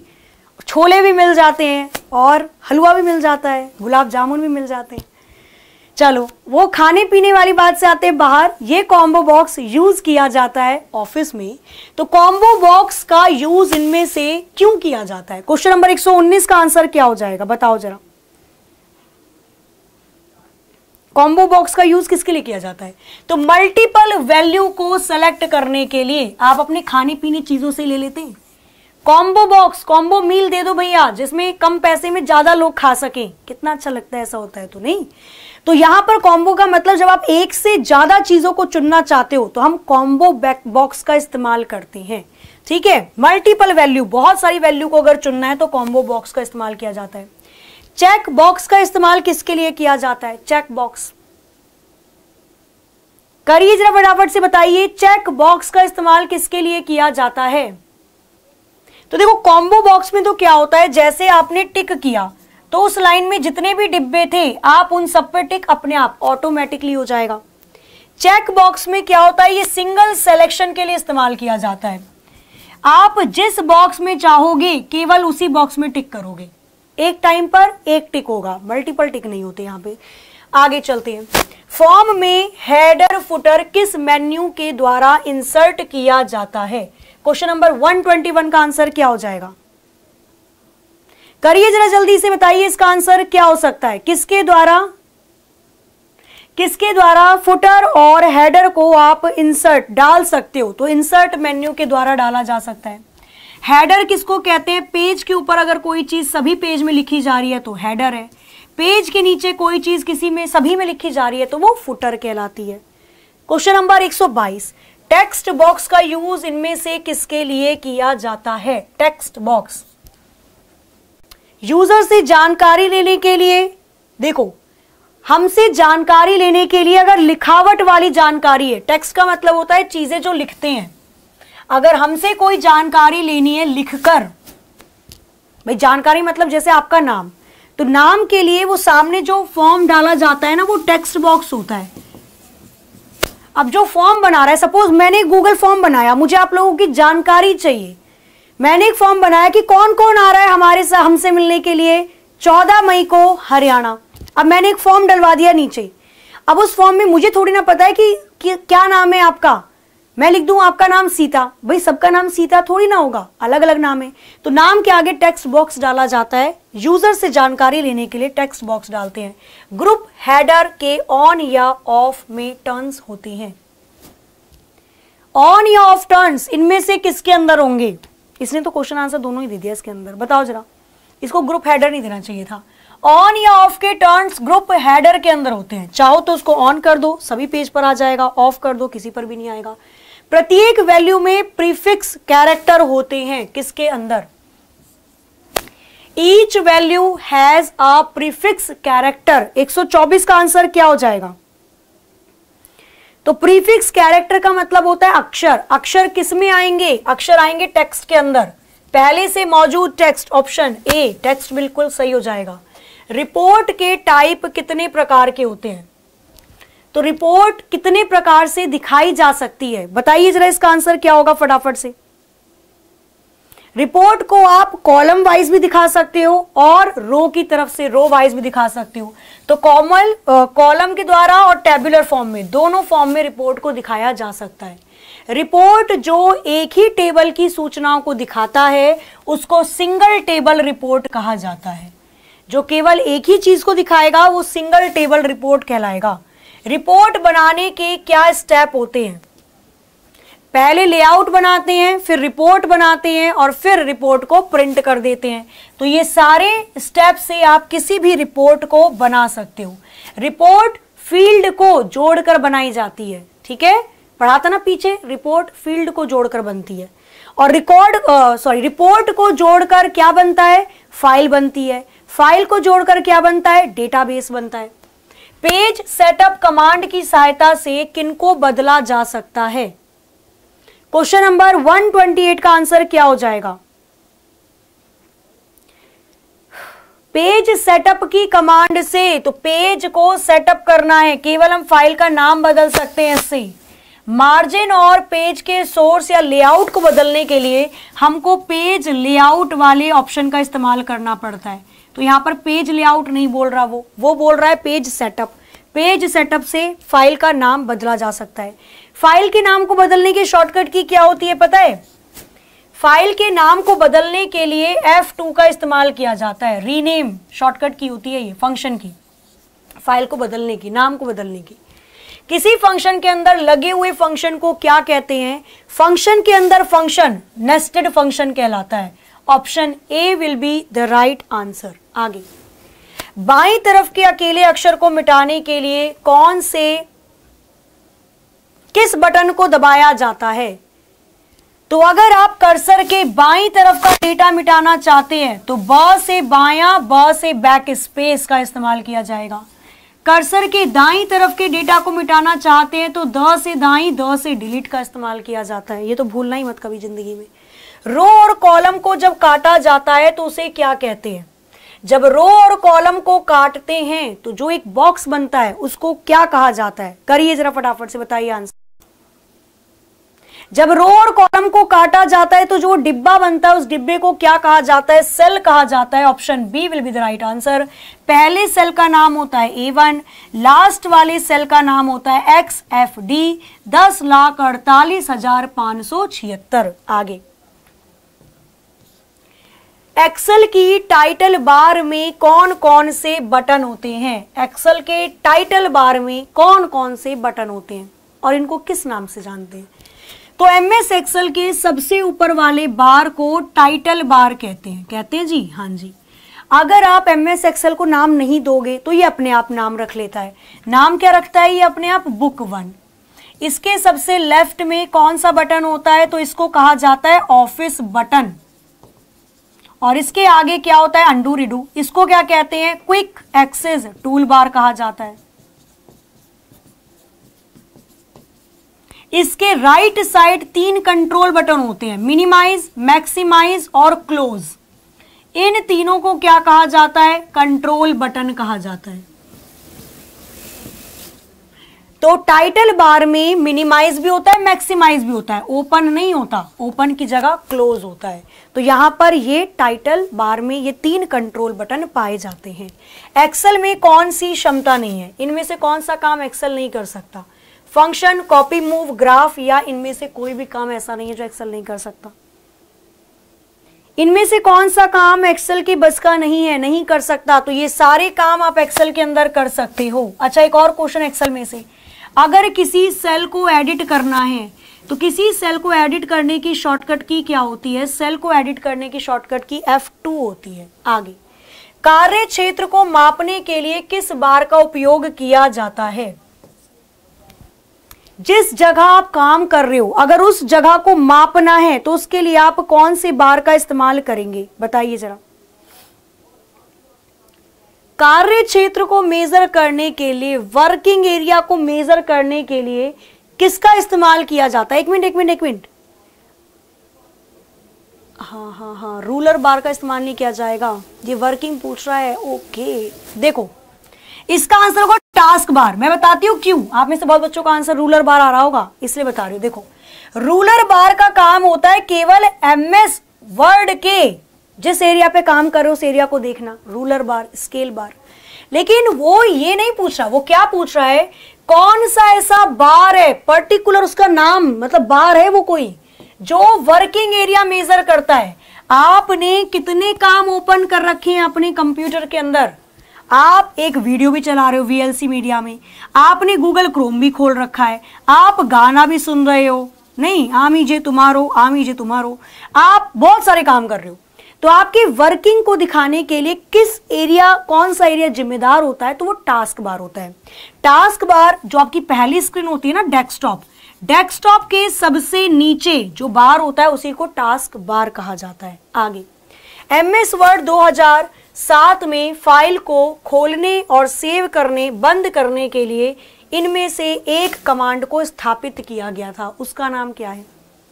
135 का आंसर क्या हो जाएगा? ये आपको बताना है। करिए जरा फटाफट से आंसर। क्या हो सकता है? करिए फटाफट से। क्या होगा इसका आंसर? नहीं, काम को दिखाना। जितने काम हो रहे हैं, उस काम को दिखाना। Working area. जितना काम किया जा रहा है। देखो, मैं बताती हूँ। अगर वो बोलता ना कि जितनी जगह काम करना है मार्जिन तो मार्जिन के लिए रूलर बार का इस्तेमाल करते हैं। लेकिन वर्किंग एरिया, जिस जिस जगह आप काम कर रहे हो, वो सभी चीज़ दिखा रहा है। मैं बोलूँ, मैं आपको अपना वर्किंग एरिया दिखाती हूँ। देखो, यहाँ पर मैं पढ़ाती हूँ, यहाँ पर मैं खाना खाती हूँ, यहाँ पर मैं पढ़ती हूँ, यहाँ पर मैं कुछ काम कर रही हूँ, सब्ज़ी बनाती हूँ, रोटी बनाती हूँ समथिंग तो मैंने वर्किंग एरिया दिखाया, जिस जिस जगह मैं काम करती हूँ तो वर्किंग एरिया टास्क बार के द्वारा दिखाया जाता है। ऑफ़िस बटन को 2007 में लॉन्च किया गया था। ऑफ़िस बटन जिसके बारे में मैं बोलती हूँ ना, इसको 2007 में लॉन्च किया गया था। इससे आप फ़ाइल को ओपन कर सकते हो सेव कर सकते हो और क्लोज कर सकते हो। आगे। किस कमांड के द्वारा डॉक्यूमेंट को प्रिंट करने से पहले देखा जा सकता है? तो डॉक्यूमेंट को प्रिंट करने से पहले देखना है तो आप प्रिव्यू कमांड के द्वारा या प्रिंट प्रिव्यू के द्वारा देख सकते हो। सेलेक्टेड लाइन को बोल्ड करने के लिए कौन सी शॉर्टकट की का इस्तेमाल किया जाता है? करिए जरा फटाफट से बताइए इसका आंसर क्या होगा। सेलेक्टेड लाइन को बोल्ड करने के लिए जो चीज़ आपने चुन ली, चयनित कर ली, अगर आप उसको बोल्ड डार्क करना चाहते हैं कंट्रोल प्लस बी का इस्तेमाल किया जाएगा। आगे। सेलेक्टेड लाइन को अंडरलाइन करने के लिए कौन सी शॉर्टकट की का इस्तेमाल किया जाता है? मुझे ये बताओ। डबल अंडरलाइन करने के लिए कौन सी शॉर्टकट की का इस्तेमाल किया जाता है? डबल अंडरलाइन करने के लिए कौन सी शॉर्टकट की का इस्तेमाल किया जाता है, ये भी बताना। तो अंडरलाइन करने के लिए इस्तेमाल करते कंट्रोल प्लस यू का, और डबल अंडरलाइन करने के लिए कंट्रोल प्लस डी का इस्तेमाल किया जाता है। तो किसी भी, जो भी अक्षर आपने चुना हुआ है, उसके नीचे डबल अंडरलाइन आ जाएगी। आगे आप प्यारा सा देखो। दे दिया इसने क्वेश्चन 139 करिए, जरा इसको फटाफट से बताइए, इसका आंसर क्या होगा? Control plus D sorry dialog box के लिए करना। कंट्रोल शिफ्ट लिख लो यहाँ पर। कंट्रोल के साथ शिफ्ट आता है, फिर डी आता है। कंट्रोल प्लस डी का इस्तेमाल किया जाता है डायलॉग बॉक्स को खोलने के लिए। डायलॉग बॉक्स किसको कहते हैं? तो डायलॉग बॉक्स जब आप फॉन्ट की चीज़ों को देखना चाहते हैं, अक्षर को बड़ा करना है, मोटा करना है, छोटा करना है साइज़ मतलब बड़ा या छोटा करना है, वो control plus D double underline के लिए कंट्रोल शिफ्ट और डी करना। तो डबल अंडरलाइन के लिए कंट्रोल शिफ्ट और डी का इस्तेमाल किया जाता है डबल अंडरलाइन एक रेफरेंस है जो डॉक्यूमेंट के एक भाग की सूचना को दूसरे भाग में दिखाता है। तो एक भाग की सूचना को दूसरे भाग में दिखाने के लिए किसका इस्तेमाल किया जाता है? करिए जरा इसका आंसर क्या हो सकता है? एक भाग की सूचना को दूसरे भाग में दिखाने के लिए किसका इस्तेमाल किया जाता है? करिए जरा आंसर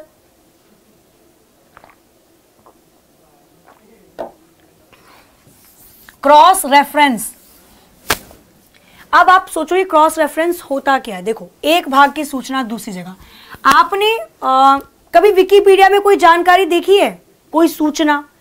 क्या सूचना? क्या चल रहा है? बताओ आजकल क्या चल रहा है? कोई भी एक न्यूज़ पकड़ लेते हैं ठीक है? हमें कुछ भी किसी भी चीज़ के बारे में जानकारी प्राप्त करनी है। केदारनाथ के कबाट खुल गए है ना? अच्छी अच्छी न्यूज़ लेते हैं भाई। तो केदारनाथ के बारे में हमें कोई चीज़ देखनी है। भाई, कपाट खुल गए, कैसे जाना होता है, कितना पैसा लग जाएगा, कितना खर्चा होता है, कब बंद होंगे कपाट, कितना चलना पड़ता है, कैसे जो भी जानकारी है, मुझे सारी लेनी है।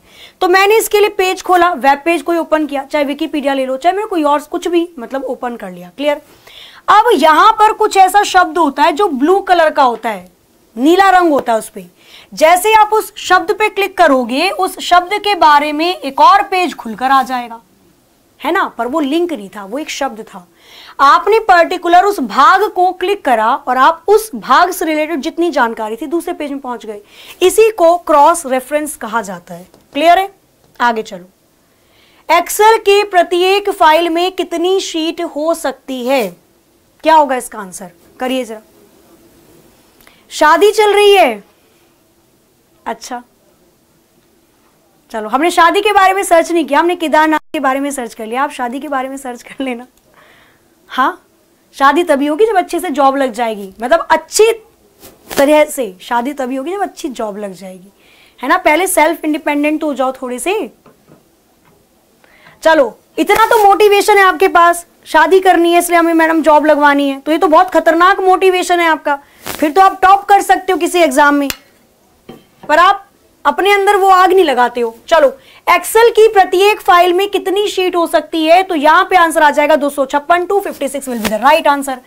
अब वर्कबुक किसे कहते हैं? देखो, वर्कशीट के कलेक्शन को, वर्कशीट के कलेक्शन को तो वर्कशीट के कलेक्शन को वर्कबुक कहा जाता है। वर्कबुक में कम से कम तीन शीट होनी चाहिए, ज़्यादा से ज़्यादा दो सौ छप्पन शीट होनी चाहिए। आगे चलते हैं नेक्स्ट एक्सेल 2010 में एक अतिरिक्त मेन्यू जोड़ा गया, जिसका नाम क्या था? एम एस एक्सेल 2010 में कौन सा अतिरिक्त एक और मेन्यू जोड़ा गया था, उसको किस नाम से जाना जाता है? करिए जरा इसका आंसर, क्या हो सकता है? तो 2010 में एक और मेन्यू जोड़ा गया, होम से अलग, उसका नाम था file. Option B will be the right answer. आगे चलते हैं। सेल पॉइंटर को अगली शीट पर ले जाने के लिए कौन सी शॉर्टकट की का इस्तेमाल किया जाता है? ये 200 के 200 क्वेश्चन बहुत इंपॉर्टेंट हैं। ठीक है? तो बताना है आपको कौन सी शॉर्टकट की का इस्तेमाल किया जाता है सेल पॉइंटर को एक नेक्स्ट शीट पर ले जाने के लिए। सेल पॉइंटर सेल का एड्रेस बताने वाला एक पॉइंटर ठीक है? पॉइंटर का इस्तेमाल ही होता है किसी सेल के एड्रेस को किसी दूसरे सेल में बताया गया हो। कौन सी शॉर्टकट की का इस्तेमाल किया जाता है? तो अगली शीट में ले जाने के लिए कंट्रोल के साथ पेज डाउन का इस्तेमाल किया जाता है। ऑप्शन सी करेक्ट हो जाएगा। इनमें से किस डेटा को दृष्टिगत रिप्रेजेंटेशन है।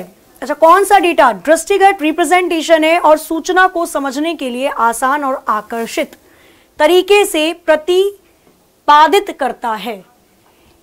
Which, या लिखो यहाँ पर dash is visual representation of data and presents the information in an easy to understand and attractive manner data किस तरीके से लिखा हो तो आपको जल्दी समझ में आ जाएगा और एक अट्रैक्टिव होगा। रुक जाओगे आप उस डेटा के बारे में देखने के लिए।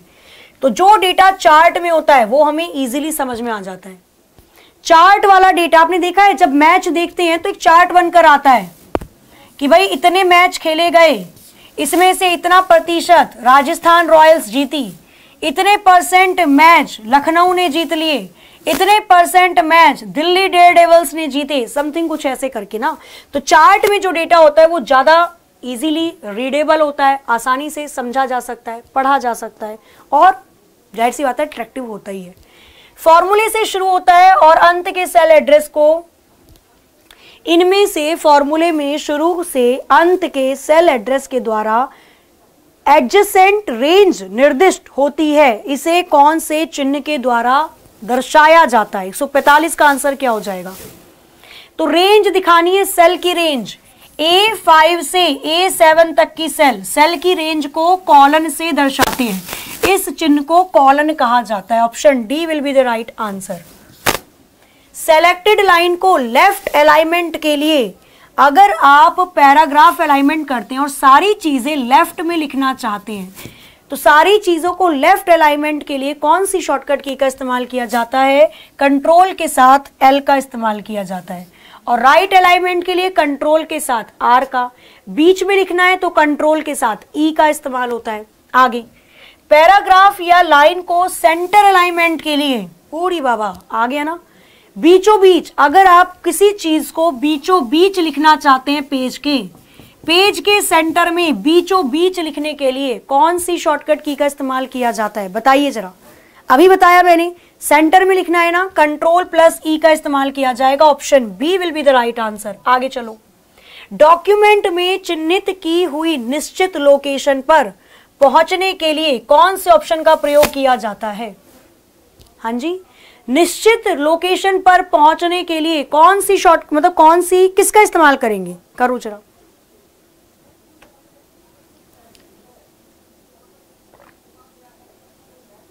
बुक मार्क बिल्कुल ठीक है।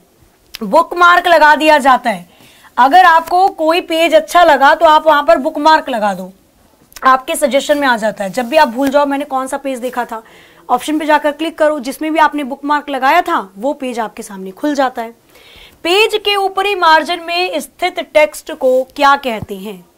पेज के ऊपर वाले हिस्से को क्या कहा जाता है? मैं यहाँ पर तीन नहीं, चार चीज़ें आपको क्लियर करती हूँ। देखो पेज का ऊपर वाला हिस्सा हेडर कहलाता है ये आप सभी को पता है। हेडर एक जगह लगा दो वो हर पेज पे आ जाता है। हेडर अपने आप आपने कोई भी बुक बनाई ठीक है? अब आप बुक बना रहे हो उसके ऊपर हर पेज पे लिखा हुआ आ जाएगा। भाई बुक बनाई गई है प्रीति मैम के द्वारा प्रीति मैम के द्वारा कुछ भी लिख दो। पेज के ऊपर मुझे आ, आ, क्या लिखते हैं? चैप्टर का नाम लिखते हैं ना? चैप्टर नाम मुझे लिखना है या कुछ भी मैं लिखना चाहती हूँ जो सब पेज पे आ जाए। कंप्यूटर की बुक, कंप्यूटर की बुक समथिंग ऐसे करके। तो मैं हेडर का इस्तेमाल करूँगी, वो सब पे अपने आप दिखा देता है। फुटर का काम होता है, ये क्या करता है? पेज के नीचे होता है इस्तेमाल, जैसे पेज का नंबर प्रेजेंट करने के लिए। एक होता है फुट नोट फुट नोट जिस पेज पे आप चाहोगे उसी पेज पे लगेगा पेज के नीचे। जैसे कोई भी शब्द हमने ले लिया, मैंने ले लिया, कुछ भी वर्ड ले लेते हैं हम, ठीक है? मैंने ले लिया इंट्रोवर्ड अब इसके ऊपर स्टार बन जाता है। हमने पढ़ा था रीडिंग नहीं करते थे बुक में जब छोटे होते थे। तो इंट्रोवर्ट एक शब्द है, उससे रिलेटेड जो जानकारी होगी वो पेज के नीचे दिखा देते थे। ये फुट नोट के अंदर होता है। इंट्रोवर्ट का मतलब वो बंदा जो केवल अपनी ही अंदर अंदर चीज़ों को रखता है। गुन्ना नहीं होता। सामने वाले को नहीं महसूस होने देगा उसके अंदर क्या चल रहा है। बहुत खूखार लोग होते हैं ऐसे।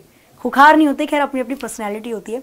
एक होता है एक्सट्रोवर्ट एक्सट्रोवर्ट वो व्यक्ति होता है जो खुलकर रहता है। मतलब जो खुलकर बोल देता है सारी चीज़ों को उसके मन में जो भी है हंस के रहता है, सबसे मिलजुल कर रहता है। इंट्रोवर्ट वो लोग होते हैं जिनको सबके साथ मिलने में दिक्कत होती है। वो अंदर अपने आप अकेले ही रहना पसंद करते हैं। और एम्बीवर्ट वो जाते हैं, देखो क्या इंग्लिश पढ़ाना शुरू कर दिया। एम्बीवर्ट वो होते हैं जिनके अंदर दोनों गुण है, कहाँ पर बोलना है, कहाँ पर चुप होना है, ये सारी चीज़ें। तो फुट नोट जो पेज के नीचे चीज़ें आप दिखाते हो डिफ़िकल्ट वर्ड टाइप एक होता है एंड नोट एंड नोट किसको कहते हैं? आपके डॉक्यूमेंट के सबसे अंतिम पेज पर एंड पेज पर जो भी जानकारी आप देना चाहते हैं कि भाई बुक अच्छी लगी तो फीडबैक देना, जैसे भी आपको लगी हो रेफरेंस मैंने कहाँ कहाँ से इस बुक को देखकर बनाया है तो वो सारी चीज़ें। एंड पेज पे अगर लिख रहे हो तो वो एंड नोट कहलाती है। इनमें से कौन सी सेल निश्चित करने के लिए या संबंधित सेल के स्वतः रेफरेंस को रोकने के लिए कॉलम और रो की संख्या से पहले किस चीज़ को टाइप किया जाता है? अगर आप अपनी सेल को या रो को मतलब प्रिवेंट बचाना चाहते हो, ताकि उसका गलत यूज़ ना हो जाए तो उसके आगे डॉलर वाले साइन का इस्तेमाल किया जाता है। ठीक है? डॉलर वाले साइन से वो कॉलम या रो सेलेक्ट नहीं हो सकती। फिर आप उसको चेंज नहीं कर सकते एक तरीके से। माइक्रोसॉफ्ट एक्सेल 2007 में बनी फ़ाइल को क्या कहते हैं? एक्सेल में जो फ़ाइल बन जाती है, उसको क्या कहा जाता है? करिए जरा क्वेश्चन नंबर 151 का आंसर क्या हो जाएगा? तो एम एस एक्सएल में बनी हुई फाइलों को वर्क बुक कहा जाता है। जिसपे काम करते हैं, वो वर्कशीट होती है। लेकिन जो फ़ाइल बनकर बाहर निकलती है, उसको वर्क बुक कहा जाता है। कम से कम तीन, ज़्यादा से ज़्यादा दो सौ छप्पन। इनमें से कौन से ऑप्शन के साथ रो या कॉलम दोनों को फ्रीज कर सकते हैं? अर्थात वर्कशीट रहते हुए आप हमेशा उस रो या कॉलम में सूचना को देख सकते हैं। कुछ ऐसे आ, किस कॉलम के द्वारा या किसके द्वारा हम रो या कॉलम को क्या कर सकते हैं? फिक्स कर सकते हैं। उसको चेंज नहीं किया जा सकता। बहुत शैतान बच्चे होते थे। टीचर्स वर्कशीट में नंबर लिख देते थे। बच्चे जाके फ़ाइल खोलते थे अपना नंबर 62 है उसको बढ़ाकर 82 कर देते थे। जिसका 18 होता था उसको 98 कर देते थे। क्या 98 तो ज़्यादा हो गया। 18 वाले को 38 कर देते थे। पास तो हो जाए कम से कम 35 से ऊपर। तो टीचर क्या करते थे? उस रो या कॉलम को फिक्स कर देते थे, ताकि उसमें चेंज ना हो सके। उसको फ्रीज पेन कहा जाता है। आप उस कॉलम को या रो को फ्रीज कर दो। फ्रीज का मतलब स्टिक उसके अंदर का डेटा फिर केवल पढ़ा जाएगा चेंज नहीं होगा। विंडोज़ में हेल्प के लिए कौन सी शॉर्टकट की का इस्तेमाल किया जाता है? करिए जरा आंसर क्या हो सकता है? हाँ फ्रीज फ्रीज बिल्कुल ठीक है। फ्रीज पेन फ्रीज पेन के अंदर आता है। जब आप किसी भी कॉलम या रो को फ्रीज कर देते हो, ताकि उसके डेटा को कोई भी व्यक्ति बदल ना सके। हेल्प के लिए F1 का इस्तेमाल होता है। F2 का इस्तेमाल नाम को बदलने के लिए किया जाता है। F3 का इस्तेमाल सर्च करने के लिए किया जाता है। F4 ऑल्ट के साथ इसका इस्तेमाल करोगे तो किसी भी प्रोग्राम को बंद करने के लिए इसका इस्तेमाल किया जाता है। आगे चलो नेक्स्ट क्वेश्चन वर्ड में स्पेलिंग की जाँच के लिए कौन सी शॉर्टकट की का इस्तेमाल किया जाता है? 154 का आंसर क्या हो जाएगा? इजी है। स्पेलिंग की जाँच के लिए F2 का इस्तेमाल होता है। F8 का इस्तेमाल रिबूट के लिए होता है। बाकी के बारे में पहले बता चुकी हूँ। आगे चलो। रिप्लेस कमांड की शॉर्टकट की क्या होती है? इसका आंसर अगर कोई गलत करता है अब, फिर फिर रसोई में जाना, मम्मी को बुलाना, मम्मी के सामने एक कांच का बर्तन तोड़ देना। फिर जो सजा मिलेगी, वही सजा मिलनी चाहिए आपको। रिप्लेस के बारे में अभी मैंने थोड़ी देर पहले आपको बताया, जब आप किसी अक्षर को या किसी शब्द को दूसरे शब्द से चेंज करना चाहते हैं, उसको रिप्लेस कहते हैं। रिप्लेस की कमांड होती है control plus H control plus K का इस्तेमाल किया जाता है हाइपर लिंक को इंसर्ट करने के लिए। कंट्रोल प्लस एन का इस्तेमाल किया जाता है नई फ़ाइल या नई दस्तावेज़ या नए डॉक्यूमेंट को खोलने के लिए। कंट्रोल प्लस यू का इस्तेमाल किया जाता है अंडरलाइन खींचने के लिए। आगे। गो टू के लिए कौन सी कमांड का इस्तेमाल किया जाएगा? गो टू का मतलब होता है स्पेसिफिक किसी शब्द पर जाना है। तो गो टू के लिए कंट्रोल प्लस जी का इस्तेमाल किया जाता है। आसानी से पढ़ने के लिए इनमें से किसका उपयोग सूचना को हॉरिजॉन्टल रो और वर्टिकल कॉलम में स्थापित किया जाता है? क्वेश्चन नंबर 157 के लिए कौन सा ऑप्शन करेक्ट हो जाएगा? करिए जरा फटाफट से। बताइए इसका आंसर क्या होगा? जब रो और कॉलम को बनाते हो, व्यवस्थित करते हो और उसके अंदर बहुत सारी सूचना लिखी जाती हैं तो वो एक टेबल बन जाती है। और उस टेबल में जो भी चीज़ें पढ़ते हैं मतलब जो भी चीज़ें आप लिखते हो, वो इजीली सामने वाले व्यक्ति को समझ में आ जाती हैं। तो रो और कॉलम का इस्तेमाल करके सेल बनती है और रो और कॉलम में बहुत ज़्यादा डेटा लिख रहे हो तो वो टेबल ही बन जाती है प्रॉपर आगे चलते हैं। ऑटोमेटिक रिलेटिव सेल रेफरेंस को रोकने के लिए किस विशेष कैरेक्टर का प्रयोग कॉलम व रो नंबर के पूर्व में होता है? ये भी अच्छा क्वेश्चन है। अभी बताया भी था शायद। क्वेश्चन नंबर 158 अगर रेफरेंस रोकना है, कोई इस्तेमाल ना कर सके डेटा का तो उस वैल्यू के आगे डॉलर का साइन लगा देना। Option B will be the right answer trend micro क्या है? ट्रेड माइक्रो क्या है? भाई, बताओ जरा। ट्रेड माइक्रो क्या है? 159 का आंसर क्या हो जाएगा? करिए जरा जल्दी से इसका आंसर। क्या लगता है आपको? क्या होगा? ट्रेंड माइक्रो किसे कहा जाता है? तो ट्रेंड माइक्रो एक एंटीवायरस होता है। एंटीवायरस, वायरस को भगाओ तो एंटीवायरस वायरस को भगाने के लिए इस्तेमाल किया जाता है। पहला वायरस क्रीपर था, जिसको बॉब थॉमस द्वारा बनाया गया था। ये नेटवर्क पर फैलने वाला वायरस था, जिसको आरपा नेट पर फैलाया गया। ठीक है, चलो आगे। उन वायरस का क्या नाम होता है, जो किसी यूज़र को यूजफुल एप्लीकेशन होने का दिखावा करके डाउनलोड करने या एग्जीक्यूट करने में मूर्ख बनाते हैं। कहते हैं, हमें डाउनलोड कर लो, लेकिन दिखते नहीं है, कहीं खो जाते हैं। और वो आपकी प्राइवेसी पे अटैक करते हैं। मतलब आपको मूर्ख बनाने वाले वायरस क्या कहलाते हैं? तो ट्रोजन कहा जाता है, ये एक फेक सॉफ्टवेयर फेक एप्लीकेशन होती हैं या फेक सॉफ्टवेयर होते हैं। कहते हैं ना बार बार अपने आप नहीं आ जाता अचानक। आप मोबाइल यूज़ कर रहे हो। अचानक एक मैसेज आ जाएगा कि भैया तुम्हारा रोम रैम चल रहा है, बहुत गड़बड़। इस वाली एप्लीकेशन को डाउनलोड कर लो। रैम ऐसे रॉकेट की तेज़ी से दौड़ेगा। ठीक है, और हम मासूम लोग, हम तो नहीं, जो मासूम लोग होते हैं, वो बेचारे उसको कर लेते हैं डाउनलोड जब वो वो भी डाउनलोड कर लेते हैं तो वो फ़ाइल कहीं नहीं दिखती, क्योंकि वो फ़ाइल थी ही नहीं। वो एक वायरस था, ट्रोजन वायरस था। अब वो आपकी प्राइवेसी प्राइवेट जानकारियों को चुराएगा। इसलिए जब भी ऐसा दिखे तो अपने दिमाग को शातिर बना लेना चाहिए। आगे चलो नेक्स्ट क्वेश्चन एप्लीकेशन सॉफ्टवेयर में फैलने वाले वायरस को क्या कहा जाता है? वो वायरस जो एप्लीकेशन में फैलते हैं, उनका नाम क्या होता है? करिए जरा इसका आंसर क्या हो सकता है? ज़्यादा नहीं बचा, जहाँ तक मुझे लगता है मुश्किल से 40 क्वेश्चन बचे हैं। 40 भी नहीं बचे भाई, उससे भी कम ही है 39 के आसपास। करिए जरा फटाफट से बताइए इसका आंसर क्या होगा? लगातार आप तीन चार घंटा भी लगातार बैठ के नहीं पढ़ सकते, फिर कैसे करोगे? तो एप्लीकेशन सॉफ्टवेयर में फैलने वाले वायरस मैक्रो वायरस इनको कहा जाता है। मैक्रो वायरस होगा। मैक्रो वायरस वो वायरस होते हैं जो केवल एप्लीकेशंस के अंदर फैलते हैं। ले हार्ड वायरस कैसे एग्जिस्टेंस में आता है? ले हार्ड वायरस, किस प्रकार से ये इसकी उत्पत्ति हुई है? किस प्रकार से ये हमारे सिस्टम में मौजूद होता है? तो ले हार्ड वायरस कमांड के द्वारा आता है। कमांड लिखना वेरी हार्ड तो याद करने का तरीका very hard very hard command लिखना वेरी हार्ड तो कमांड लिखने से या कमांड की फ़ाइल पे लेहार्ड वायरस एग्जिस्टेंस में आता है या लेहार्ड वायरस उत्पन्न लेता है, उत्पत्ति लेता है। चलो कंप्यूटर में फैलने वाला वायरस क्या है? तो कंप्यूटर में फैलने वाला वायरस क्या होता है? एक कंप्यूटर का प्रोग्राम होता है। वायरस कुछ वायरस कुछ क्या, बहुत सारी वायरस ये प्रोग्राम होते हैं जिनको जानबूझ के बनाया जाता है लोगों को परेशान करने के लिए, लोगों से फ़ायदा उठाने के लिए, चाहे उनकी जानकारी मांगते हैं, चाहे उनसे पैसे मांगते हैं। ठीक है? और कुछ लोग परेशान ही करते हैं। आगे। व्यक्तियों द्वारा अपनी पहचान को गलत बताकर, गोपनीय जानकारी प्राप्त करने के लिए किस किस तरह के प्रयास किए जाते हैं? उन प्रयास को क्या कहते हैं? 164 का आंसर क्या हो जाएगा? करिए जरा फटाफट से। आंसर क्या हो सकता है?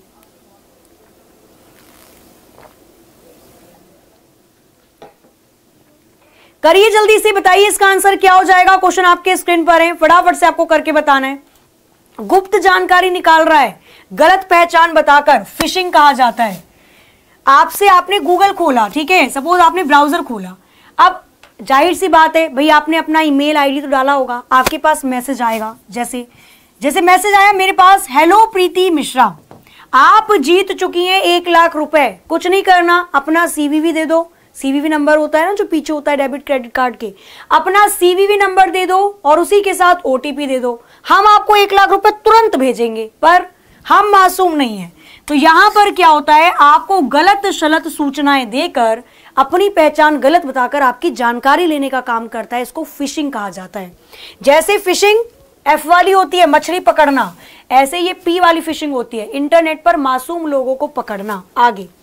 टाइम बॉम्ब कब होता है? टाइम बॉम्ब कब होता है? तो एक पर्टिकुलर डेट और टाइम पर सेट किया गया वायरस टाइम बॉम्ब कहलाता है। किसी भी ऑनलाइन कंपनी ने बोला कि मैं 14 तारीख को 12 बजे आईफोन को सात हज़ार रुपए में बेचूँगा। सेल लगा रहा हूँ। तो उसी टाइम पर मतलब 14 तारीख को सात बजे ही सेट कर दिया जाएगा एक वायरस उसी को टाइम बॉम्ब कहा जाता है। तो पर्टिकुलर डेट टाइम पर सेट किया गया वायरस टाइम बॉम्ब कहलाता है। वो वायरस जो डिले पेलोड इनमें से किस वायरस को डिले पेलोड के नाम से भी जाना जाता है? करना जरा आंसर इनमें से किस वायरस को डीले पेलोड के नाम से जाना जाता है? तो बॉम्ब को डीले पेलोड के नाम से भी जाना जाता है। पहले सेट कर दिया जाता है, बाद के लिए। डिले, बाद के लिए सेट किया गया वायरस। इनमें से पहला बूट सेक्टर वायरस कौन सा था? फ़र्स्ट बूट सेक्टर वायरस कौन सा था? करिए जरा। इनमें से कौन सा पहला बूट सेक्टर वायरस था? बूटिंग की प्रक्रिया पर सबसे ज़्यादा अपना छाप छोड़ने वाला ब्रेन। पहला बूट सेक्टर वायरस था। पहला कंप्यूटर वायरस का नाम क्या था? फ़र्स्ट वायरस विश्व का पहला कंप्यूटर वायरस क्रीपर था, जिसको आरपा नेट पर, जिसने आरपा नेट नेटवर्क को खराब किया advance research project agency network को खराब किया। इसको बॉब थॉमस नामक व्यक्ति के द्वारा बनाया गया था और क्रीपर को ठीक करने के लिए जो एंटीवायरस बना, उसका नाम था रीपर तो क्रीपर को ठीक करने के लिए जिस एंटीवायरस को बनाया गया, उसका नाम था रीपर आगे चलो। आर एफ़ आई डी की फुल फॉर्म क्या होती है? What is the full form of R F I D one sixty nine का आंसर क्या हो जाएगा? आर एफ़ आई डी की फुल फॉर्म क्या होगी? करिए जरा एक बार जल्दी से बताइए इसका आंसर क्या हो सकता है? तो आर एफ़ आई डी की फुल फॉर्म होती है रेडियो फ्रीक्वेंसी आइडेंटिफिकेशन आईडी का मतलब identification option A will be the right answer आगे चलते हैं।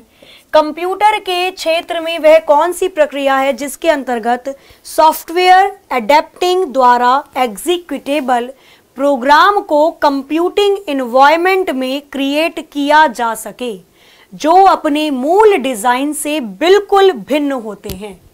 क्या कहा जाता है उसको? नेटवर्किंग पोर्टिंग रीडिंग या क्लीनअप क्वेश्चन नंबर 170 का आंसर क्या हो जाएगा? बताओ। What is the process in the field computer under which executive program can be created in computing environment by adapting software software को अडेप्ट करते के साथ ही कंप्यूटिंग प्रोग्राम को भी आप अडेप्ट कर सको। उसको पोर्टिंग कहा जाता है डिजिटल डिज़ाइनिंग उसको क्या कहते हैं? पोर्टिंग कहते हैं। Option B will be the right answer अब देखो कैसे मैं आपको बताती हूँ। आप अपना नंबर पोर्ट करवा सकते हो। भाई, कोई भी सिम है किसी भी कंपनी का, वो इतने पैसे लेता है, नेटवर्क अच्छे आते नहीं। अब आपने उसको पोर्ट करवा दिया दूसरी कंपनी में, नंबर सेम रहेगा वही चीज़ है, प्रोग्राम सेम रहेगा, पर आप उसके एनवायरमेंट को दूसरे एनवायरमेंट में चेंज करके एग्जीक्यूट करवा दोगे। तो उस चीज़ को भी पोर्टिंग ही कहा जाता है। नेक्स्ट क्वेश्चन है करके बताना इसका आंसर क्या हो सकता है। डायलअप इंटरनेट एक्सेस एक लाभ। डायलअप इंटरनेट एक्सेस का इंटरनेट एक्सेस का एक लाभ क्या होता है? तो ये ब्रॉडबैंड टेक्नोलॉजी के लिए उपयोग होता है? नहीं। ब्रॉडबैंड के लिए तो सैटेलाइट कम्युनिकेशन होता है ना उपग्रह। ये टेलीफोन सेवा आ, का उपयोग करता है बिल्कुल। टेलीफोन सेवा का उपयोग डायल अप कनेक्शन करता है। जब भैया आते हैं और खंबे पर से तार को खींचते हैं, आपके घर में राउटर लटका देते हैं। ये डायल अप कनेक्शन के अंतर्गत ही आता है और ये टेलीफोन सेवा का उपयोग करता है। इनमें से कौन सी टोपोलॉजी में नेटवर्क कंपोनेंट एक ही केबल से कनेक्ट किए जाते हैं? किस टोपोलॉजी के अंदर केवल एक ही केबल का इस्तेमाल किया जाता है नेटवर्क को आपस में जोड़ने के लिए? केवल एक ही केबल का इस्तेमाल होगा। और सिस्टम को आपस में जोड़ा जाएगा। तो ऐसा बस टोपोलॉजी के अंदर होता है है ना? और जब कंप्यूटर को आप टोपोलॉजी में जोड़ते हो तो उस कंप्यूटर को कंप्यूटर ना कह के नोड कहा जाता है। क्लियर है? स्टार टोपोलॉजी होती है जिसके अंदर हब होता है। हब जो कि सारे सिस्टम पे नज़र रखता है। रिंग टोपोलॉजी होती है गोल चक्कर की, जिसके अंदर डेटा को टोकन के रूप में बांटते हैं। मैश टोपोलॉजी होती है बाय डायरेक्शनल जिसमें प्रत्येक सिस्टम प्रत्येक सिस्टम से जुड़ा हुआ होता है। ठीक है? चलो आगे। एक्सेस देने से पहले कंप्यूटर यूज़र नामों और पासवर्डों को मैच करने के लिए इनमें से किस चीज़ को चेक करता है? क्वेश्चन नंबर 173 का आंसर क्या हो जाएगा? करिए जरा इसका आंसर क्या हो सकता है। जब आप कंप्यूटर में किसी भी फ़ाइल मतलब किसी भी चीज़ को ओपन करते हो, उसमें यूज़र नेम और अपना पासवर्ड डालते हो तो कंप्यूटर किस चीज़ के अंदर वो चीज़ चेक करता है? जहाँ पर उसने उस डेटा को स्टोर किया होगा। जब भी मैंने अपने फ़ोन में पासवर्ड डाला होगा तो मेरे मोबाइल फ़ोन के अंदर वो पासवर्ड कहीं तो स्टोर है ना, तभी तो मैच करके फ़ोन खोल देता है। कहाँ पे स्टोर होती हैं चीज़ें? डेटाबेस में। तो वो सबसे पहले डेटाबेस को चेक करता है कि पासवर्ड मिल रहा है या नहीं। ये वही पासवर्ड है ना जो उस दिन डाला था। तो खोल देगा, नहीं तो नहीं खोलता सिस्टम बड़े पैमाने पर भौगोलिक रूप से अलग अलग फैले हुए ऑफ़िस लैन एक कॉरपोरेट इनमें से कौन से, किसके उपयोग से कनेक्ट किए जा सकते हैं? क्वेश्चन नंबर 174 का आंसर क्या होगा? करिए जरा।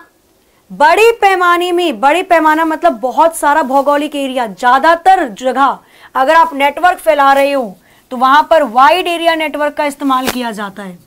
तो छोटे छोटे तारों को कनेक्ट करके अगर आप ज़्यादा जगह नेटवर्क को फैला रहे हैं तो वहाँ पर वाइड एरिया नेटवर्क कनेक्शन स्थापित किया जा रहा है। टेली कम्युनिकेशन में पीएसटीएन का प्रयोग किसके लिए किया जाता है? What is the full form of PSTN tele में पीएसटीएन की फुल फॉर्म क्या होती है? What is the full form of PSTN program switch telephone network, public service telephone network, program service telephone network या फिर public switch telephone network PSTN की full form होती है। Public switch network tele public switch telephone network. Clear है? आगे चलो। Information को digital form में चेंज करने वाला डिवाइस निम्नलिखित में से कौन सा होता है? इंफॉर्मेशन को डिजिटल फॉर्म में चेंज करने के लिए किसका इस्तेमाल किया जाता है बताना जरा? चलो।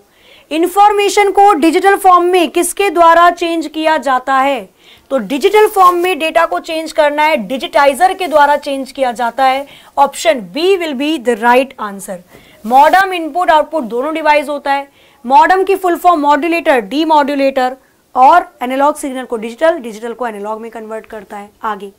इनमें से किसके माध्यम से एक एडमिनिस्ट्रेटर का दूसरा यूज़र किसी दूसरे के दूरस्थ कंप्यूटर में प्रवेश पा सकता है? एन एडमिनिस्ट्रेटर और another user can access the remote computer of another by means of which question number 177 का कौन सा ऑप्शन करेक्ट हो जाएगा? किस माध्यम से हम दूसरे के कंप्यूटर को भी इस्तेमाल कर सकते हैं? टेलनेट के माध्यम से, टेलीकम्युनिकेशन नेटवर्क के माध्यम से या टर्मिनल नेटवर्क के माध्यम से ऐसा कर पाना मुमकिन है। किसी नेटवर्क का बैंडविथ क्या कहलाता है? बैंडविथ क्या कहलाता है? बैंडविथ शब्द इंटरनेट में इस्तेमाल किया जाता है। बैंडविथ का मतलब क्या होता है? What is bandwidth in terms of network network के टर्म में बैंडविथ किसको कहते हैं? तो देखो एक समय में कितने डेटा को ट्रांसफ़र किया जा रहा है? वही बैंडविथ है। जैसे बीपीएस आता है बिट पर सेकंड कितने बिट आपके एक सेकंड में डेटा आ रहे जा रहे हैं? स्पीड आप देखते होगे केबीपीएस आती है कभी कभी किलो बिट पर सेकंड धीरे धीरे नेट चल रहा है, गुस्सा आता है, मन करता फोड़ दो फ़ोन फिर याद आता है, नहीं, दिलवाएगा भी नहीं कोई। फिर स्पीड थोड़ी सी बढ़ती है तो आती है एमबीपीएस की मेगा बिट पर सेकेंड फिर थोड़ा तेज चलना स्टार्ट हो जाता है नेटवर्क मज़ा आने लगता है। जब खतरनाक तरीके से चलेगा तो जीबीपीएस में चलेगा। गीगाबिट पर सेकेंड ऐसे चलेगा डेटा ऐसे। मतलब फटाफट काम हो जाएगा। तो ये स्पीड डेटा की स्पीड को ही बैंडविथ कहा जाता है। डेटा ट्रांसफ़र रेट डेटा कितने टाइम में कितना डेटा ट्रांसफ़र हो पा रहा है, वही आपका बैंडविथ कहलाता है। आगे चलो। यदि आप सिंग सिग्नल डिग्रेड किए बिना नेटवर्क की लेंथ बढ़ाना चाहते हैं तो आप इनमें से किसका यूज़ करेंगे? आप इनमें से किसका यूज़ करेंगे? करिए जरा इसका आंसर, क्या हो सकता है? करिए फटाफट से बताइए इसका आंसर क्या होगा? क्वेश्चन आपके स्क्रीन के सामने है, फटाफट से बताओ। क्वेश्चन नंबर 179 तो देखो अगर आप डेटा का नेटवर्क नहीं खराब करना चाहते, लेकिन उसकी लेंथ बढ़ाना चाहते हो। पहले डेटा केवल आपके और चुन्नू लाल के घर तक था। फिर आप उस डेटा को मुन्नू लाल के घर तक बढ़ाना चाहते हो, नेटवर्क को। लेकिन आप ये नहीं चाहते कि स्पीड खराब हो। तो यहाँ पर हम रिपीटर का इस्तेमाल करते हैं। किसका इस्तेमाल किया जाता है? रिपीटर का इस्तेमाल किया जाता है। यह कंप्यूटर और डिवाइसों को एक साथ कनेक्ट का एक कलेक्शन है।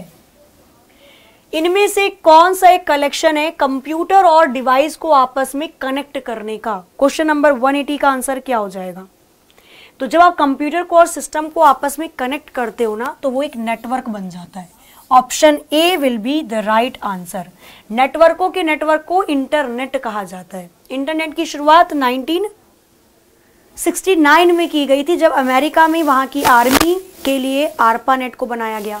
भारत में इंटरनेट 1995 में आया और भारत में इंटरनेट लाने वाली कंपनी वीएसएनएल थी। पहली ऐसी पार्टी जिसने इंटरनेट पर अपनी आ, अपनी वेबसाइट बनाई वो भारतीय जनता पार्टी बीजेपी थी। ठीक है? निम्नलिखित में से कौन सा केबल उच्च गति से डाटा ट्रांसमिट कर सकता है? क्वेश्चन नंबर 181 का कौन सा ऑप्शन करेक्ट हो जाएगा? करना जरा इसका आंसर। देखो, अगर वो बोलता है ना, मैं आपको यहाँ पर चीज़ बताती हूँ डेटा को ट्रांसफ़र करने के लिए ऑप्टिकल फाइबर का इस्तेमाल किया जाता है। अगर डेटा की हम बात करते हैं तो डेटा को जल्दी से ट्रांसफ़र करता है ऑप्टिकल फाइबर केबल क्योंकि डेटा में है इंटरनेट और इंटरनेट के लिए केवल ऑप्टिकल फाइबर का इस्तेमाल किया जाता है। है ना भाई? उसी को तो बिछाया जाता है समुद्र के नीचे। लेकिन, अगर बोला जाता है जो करंट की सप्लाई होती है डायरेक्ट करंट की सप्लाई तो डायरेक्ट करंट की सप्लाई कोएक्सल केबल में ज़्यादा तेज चलती है। डेटा को और नेटवर्क को ट्रांसफ़र करने का काम ज़्यादा तेज़ी से ऑप्टिकल फाइबर केबल का होता है। लेकिन करंट की सप्लाई अगर पूछे तो वो कोएक्सल केबल से होती है। आगे चलते हैं। वह हार्डवेयर डिवाइस या सॉफ्टवेयर प्रोग्राम जो नेटवर्क के माध्यम से मैसेज भेजता है, उसे क्या कहते हैं?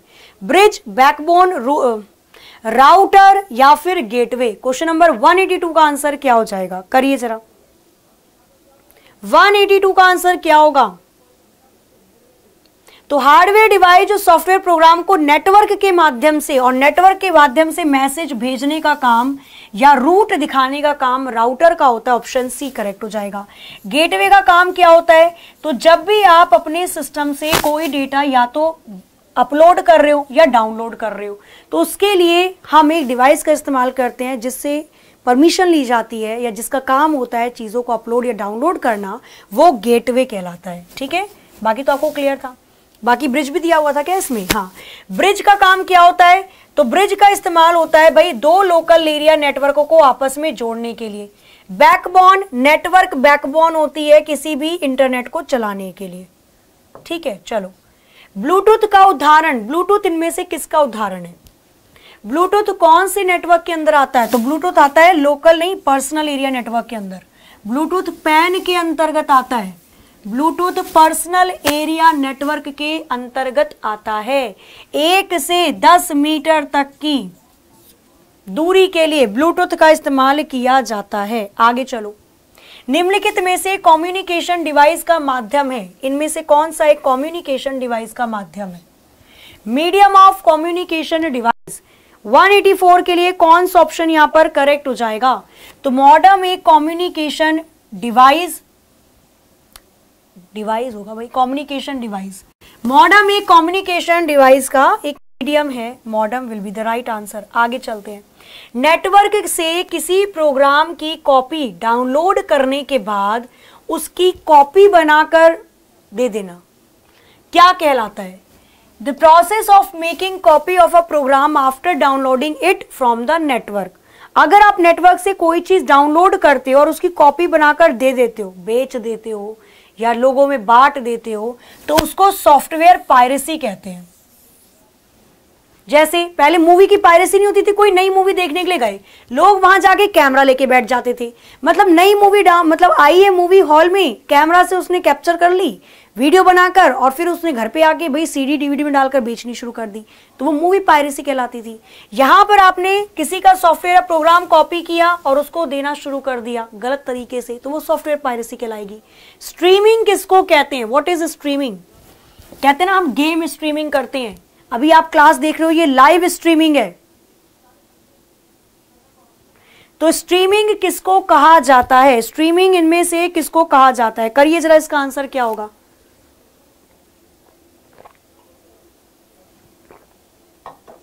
डेटा ट्रांसफ़र करने की एक तकनीक स्ट्रीमिंग होती है। यहाँ पे जो मैं पढ़ा रही हूँ, वो डेटा आप तक जा रहा है। डेटा को ट्रांसफ़र करने की टेक्निक को ही स्ट्रीमिंग कहते हैं। लाइव स्ट्रीमिंग यहाँ पर जो चीज़ मैं पढ़ा रही हूँ, वो लाइव आप लोग देख पा रहे हो। ये लाइव स्ट्रीमिंग कहलाती है। लाइव डेटा ट्रांसफ़र हो रहा है। 187 संचार उप, उपग्रहों का प्रयोग करके, संचार उपग्रहों का प्रयोग किसके लिए किया जाता है? Communication satellites are used for communication satellite का इस्तेमाल इनमें से किसके लिए किया जाता है? करिए जरा 187 का कौन सा ऑप्शन करेक्ट हो जाएगा। संचार संकेतों को संचारित करने के लिए ट्रांसमिट कम्युनिकेशन सिग्नल्स, ना ना ना। To receive and reassign communication signal, बिल्कुल। संचार संकेतों को प्राप्त करके वे पुनः निर्दिष्ट करने के लिए receive and resign, reassign communication signal. पहले ये संचार मतलब क्या करता है? रेज को प्राप्त करता है और उसके बाद उसको दोबारा से बना देता है। यही काम होता है उपग्रहों का सैटेलाइट्स का, जो लगी होती है। ब्रॉडबैंड चीज़ें भी हमें यही प्राप्त करती हैं। सूचना प्रौद्योगिकी की शब्दावली में कर्नल भंग को क्या कहा जाता है? कर्नल ब्रीच का मतलब क्या होता है? कर्नल बीच, कॉलोनल बीच, ये तो इसने बना दिया, कॉलोनल, कर्नल वो वाला, ये वाला कर्नल तो कर्नल ही होता है, ऐसे लिखते हैं इसको। कर्नल ब्रीच का मतलब क्या होता है? कंप्यूटर शब्दावली के अंदर। बताइए जरा, क्या होगा इसका आंसर? कर्नल ब्रीच का मतलब होता है, क्रैश हो गया। मतलब अब जो आपने काम ऑपरेटिंग सिस्टम को दिया था, वो नहीं होगा। बात आती है कर्नल की। कर्नल किसको कहा जाता है? तो कर्नल ऑपरेटिंग सिस्टम पर नज़र रखने वाला प्रोग्राम होता है। हम ऑपरेटिंग सिस्टम को काम देते हैं। मैंने ऑपरेटिंग सिस्टम को काम दिया, गाना भी चलाओ, कैलकुलेटर भी खोल दो वीडियो भी एक बार दिखा दो, मुझे कोई है तो एम एस वर्ड भी ओपन कर दो। मैंने काम दिया। अब जो मैं काम दे रही हूँ ऑपरेटिंग सिस्टम को, इस काम पर नज़र रखने का काम कर्नल का होता है। मेरा पहला काम हो गया तो इसको बंद कर देगा। मैंने स्क्रीन खोली तो ये वाला काम दिखाएगा। ये वाला भी काम हो गया तो इसको बंद कर देगा, फिर ये वाला काम दिखाएगा।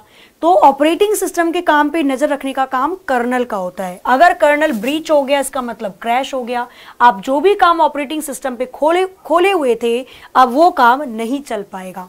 एक और शब्द उसके लिए इस्तेमाल होता है डेडलॉक डेडलॉक सुना है आपने? डेडलॉक का मतलब होता है जब आप कोई प्रोग्राम ओपन करते हो, ना तो वो ओपन हो रहा है और ना तो वो बंद हो रहा है। तो वो स्थिति डेडलॉक कहलाती है, ठीक है? चलो सूचना प्रौद्योगिकी में एसोसिएटिव मेमोरी को क्या कहा जाता है या क्या कहते हैं? Which is associative memory called in information technology question number 189 का कौन सा ऑप्शन करेक्ट हो जाएगा? करिए जरा बताइए इसका आंसर क्या होगा?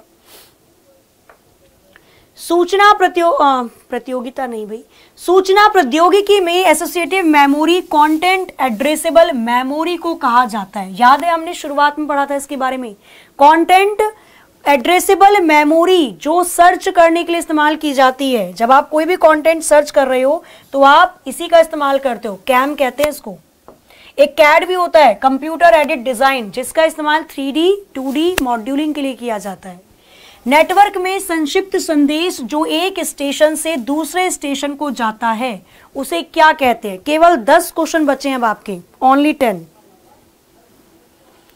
चलिए नेटवर्क में जब एक स्टेशन से दूसरे स्टेशन पे कोई ऐसा संदेश जा रहा है जो बहुत छोटा है शॉर्ट मैसेज है तो उस शॉर्ट मैसेज को टोकन कहा जाता है। टोकन का इस्तेमाल कौन सी टोपोलॉजी में किया जाता है?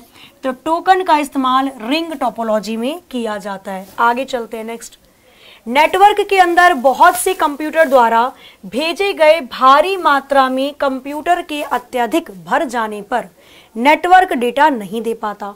उसे क्या कहते हैं? आ गया वही वाला पॉइंट आपका।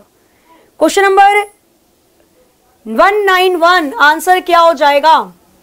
तो नेटवर्क के अंदर बहुत कंप्यूटर द्वारा भेजे गए भारी मात्रा में डेटा अत्यधिक भर जाता है और नेटवर्क डेटा नहीं दे पाता है, उसे कंजेशन कहते हैं। कंजेशन भरी हुई है चीज़ें, पर नहीं निकल पा रही। नहीं। डेटा इतना ज़्यादा आ गया, लेकिन अब आप तक नहीं पहुँच पा रहा, क्योंकि उसकी मेमोरी खुद फुल हो चुकी है। वो कोई चीज़ नहीं दिखा पा रहा अपनी मेमोरी का। उस स्थिति को कंजेशन कहा जाता है। कंजेशन कौन से ऑप्शन में था? बी में था। B will be the right answer. भिन्न भिन्न प्राथमिकताओं के चलते के कारण ट्रैफ़िक को संभालने के लिए कौन सी शेड्यूलिंग सर्विस का उपयोग किया जाता है? इंटरनेट पर ट्रैफ़िक होता है। डेफिनेटली होता है। भाई, एक ही वेब पेज को या एक ही पेज को बहुत सारे लोग एक ही समय पर खोलते हैं। तो उस ट्रैफ़िक को संभालने के लिए कौन सी टेक्निक या शेड्यूलिंग का इस्तेमाल किया जाता है? करिए जरा आंसर क्या होगा? बताइए क्या हो सकता है? तो क्यों ओ एस ट्रैफ़िक शेड्यूलिंग का इस्तेमाल किया जाता है उस ट्रैफ़िक को संभालने के लिए? कोई भी बिग बिग सेल होती है, कुछ भी होता है, या बोल दिया जाए रिज़ल्ट आ गया, सब लोग उसी पेज को खोलोगे। उसके ट्रैफ़िक को संभालने के लिए क्यों ओ एस ट्रैफ़िक शेड्यूलिंग का इस्तेमाल किया जाता है? Quick service. आगे चलते हैं। वाईमैक्स की फुल फॉर्म क्या है? What is the full form of WiMAX WiFi तो पढ़ा है हमने। वायरलेस फिडिलिटी लाईफाई भी पढ़ा है। लाइट फिडिलिटी जिसमें एलईडी बल्ब का इस्तेमाल किया जाता है। वाईमैक्स की फुल फॉर्म क्या हो जाएगी? क्वेश्चन नंबर 193 का कौन सा ऑप्शन करेक्ट होगा? करिए जरा इसका आंसर क्या हो सकता है? करिए जरा फटाफट से इसके लिए कौन सा ऑप्शन करेक्ट हो जाएगा?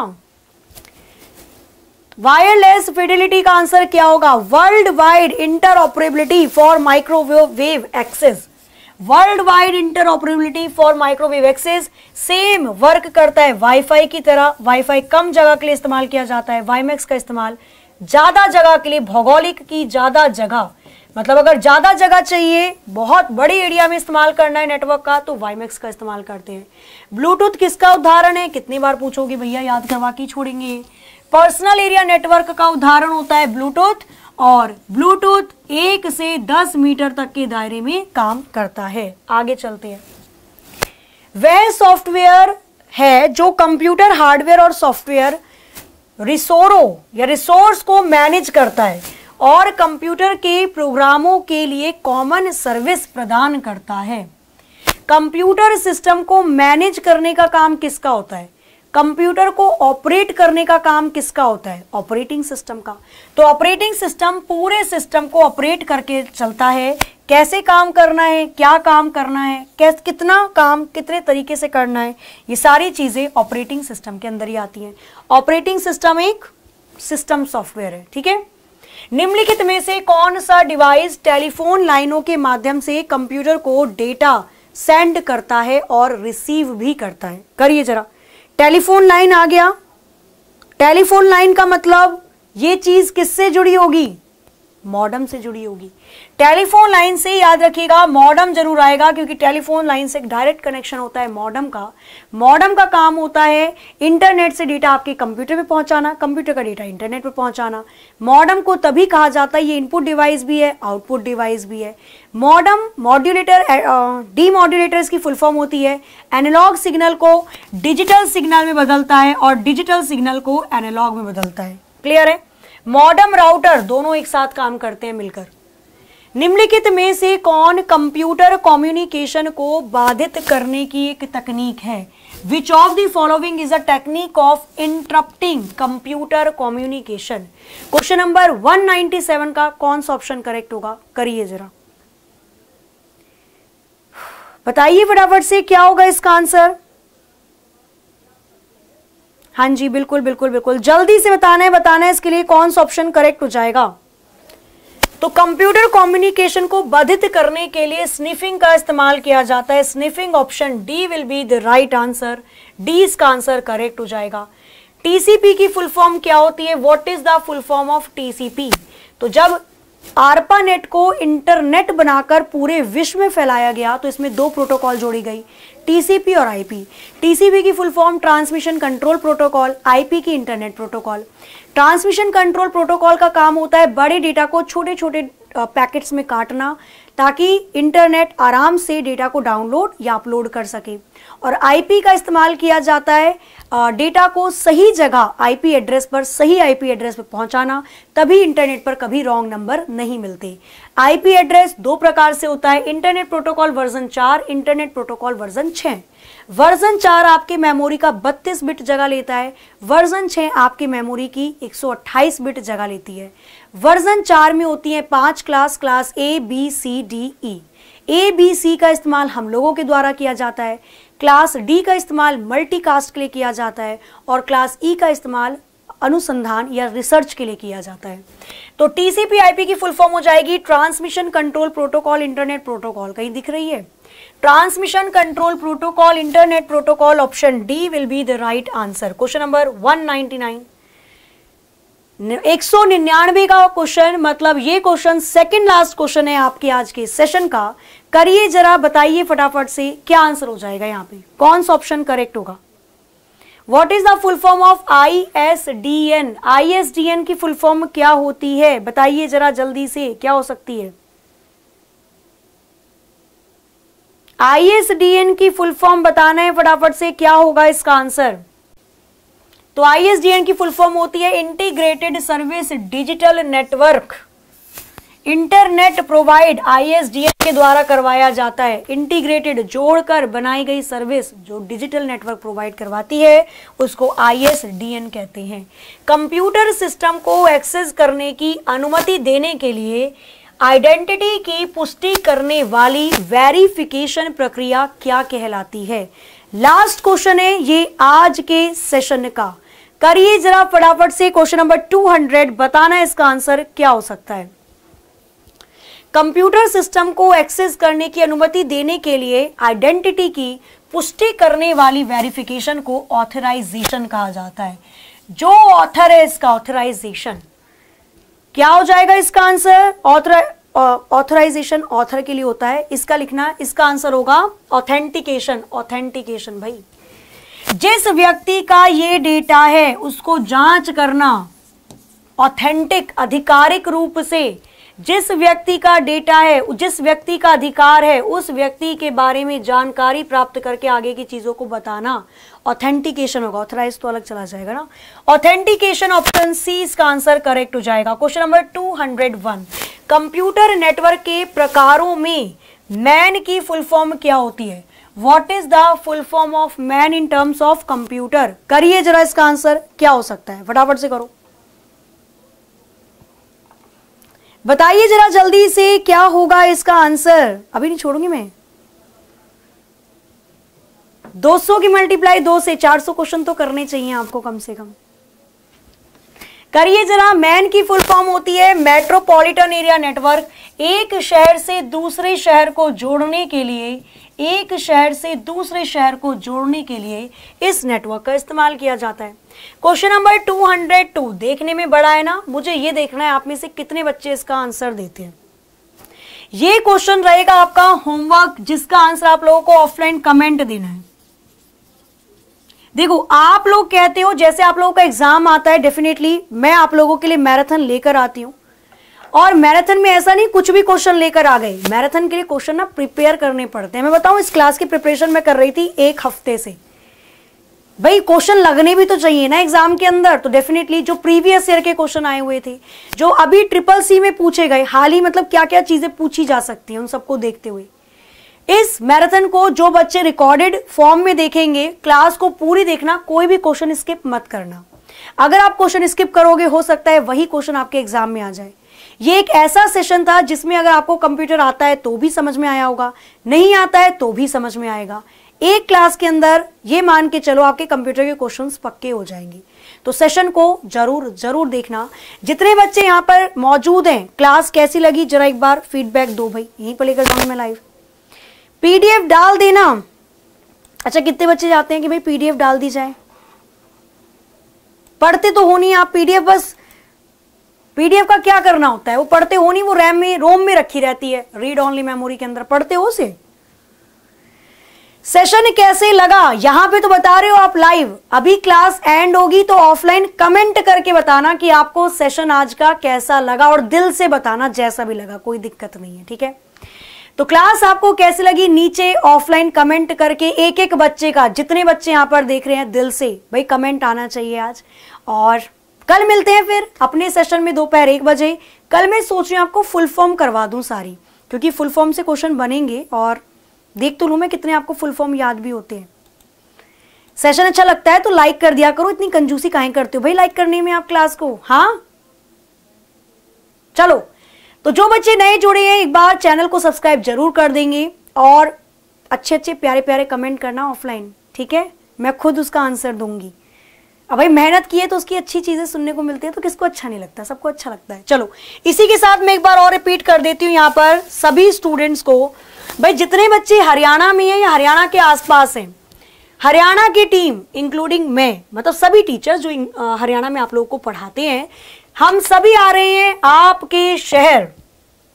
तो चैन से सोना है तो जाग जाइए। जागोगे तो सोगे कैसे? चलो, तैयारी कर रही हैं अच्छी तो डेफिनेटली तैयारी बहुत मन लगाकर कीजिए।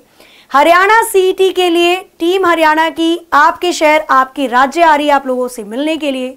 जिसमें आपको, आपसे सीटी का ऑफलाइन मॉक टेस्ट लिया जाएगा, जो पहला विनर होगा, उसको इकतीस दूसरे वाले को इक्कीस और तीसरे वाले को ग्यारह सौ रुपए की राशि दी जाएगी। साथ ही में जो टॉप टेन स्टूडेंट्स होंगे, उनके लिए भी कुछ ना कुछ ज़रूर है। क्या है? वो तो रिवील होगा उसी दिन।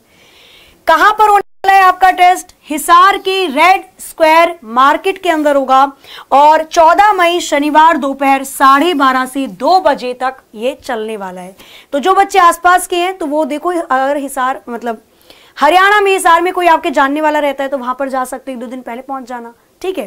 तो एक बार चेक किया करो अपने आप को कि भाई कितने नंबर आप लोगों के मिल रहे हैं, कितनी तैयारी हो रही है। अगर आप इससे डर जाओगे ना तो कैसे तैयारी करोगे? कुछ लोग तो डर जाते हैं। आप मोक टेस्ट भी नहीं देते हो। कि भाई नंबर कम आ जाएँगे मेरे। अब आप अपने से झूठ बोल रहे हो। दुनिया से बोलो, चलता है, अपने से तो झूठ मत बोलो। और अभी चार बजे आप लोगों का एक बेहतरीन इवेंट आ रहा है, राजस्थली क्लासेस पर, राजस्थली चैनल पर। तो आप सभी स्टूडेंट्स को क्या करना है? चार बजे यहाँ पर पहुँचना है, Rajasthan Rajasthan police constable exam को लेकर बहुत बड़ी नोटिफिकेशन है तो ज़रूर पहुँच जाइएगा। ठीक है जी? चलो। तो ये वाला क्वेश्चन होमवर्क है। देखते हैं कितने बच्चे हैं जो तहे दिल से इस क्वेश्चन को करते हैं, ढूंढते हैं और इसका आंसर बताते हैं। साथ ही में क्लास कैसी लगी ज़रूर बताना फीडबैक ज़रूर देना। इसी के साथ आज के सेशन को हम लोग यहाँ पर एंड करते हैं। रही बात पीडीएफ की तो पीडीएफ में आज के सेशन की प्रोवाइड आप लोगों को करवा दूँगी। खुश? चलो। तो आज के सेशन की पीडीएफ आप लोगों को मिल जाएगी, कहाँ मिलेगी? आप लोगों को डाउनलोड करना पड़ेगा एग्जामपुर का ऑफिशियल ऐप, जिसके पास है, बड़ी अच्छी बात है, जिसके पास नहीं है, कर लेना। एग्जामपुर ऑफिशियल ऐप को डाउनलोड करोगे, उसके बाद एनरोल करोगे अपने आप को, फिर आप जाओगे यूट्यूब वाले, पीडीएफ वाले सेक्शन में। यहाँ पर आपको फॉर ऑल एग्ज़ाम वाले सेशन में जाना है। इसके बाद आपको कंप्यूटर दिख जाएगा। मैं दिख जाऊँगी, मुझे पहचान लेना। कंप्यूटर के अंदर आज की पीडीएफ में डलवा दूँगी, ढूंढ लेना। ढूँढने से भगवान मिलते हैं, आपको पीडीएफ नहीं मिलेगी। चलो। तो आज की सेशन को हम लोग यहाँ पर करते हैं एंड मिलते हैं हम लोग कल दोपहर एक बजे, किसके साथ? तो फुल फॉर्म के साथ, ठीक है? चलो स्क्रीनशॉट ले लेना इसका। पॉज करके। तब तक के लिए भाई, हँसते रहिए, मुस्कुराते रहिए, खुश रहिए अपना अपने घर वालों का ख्याल रखिए।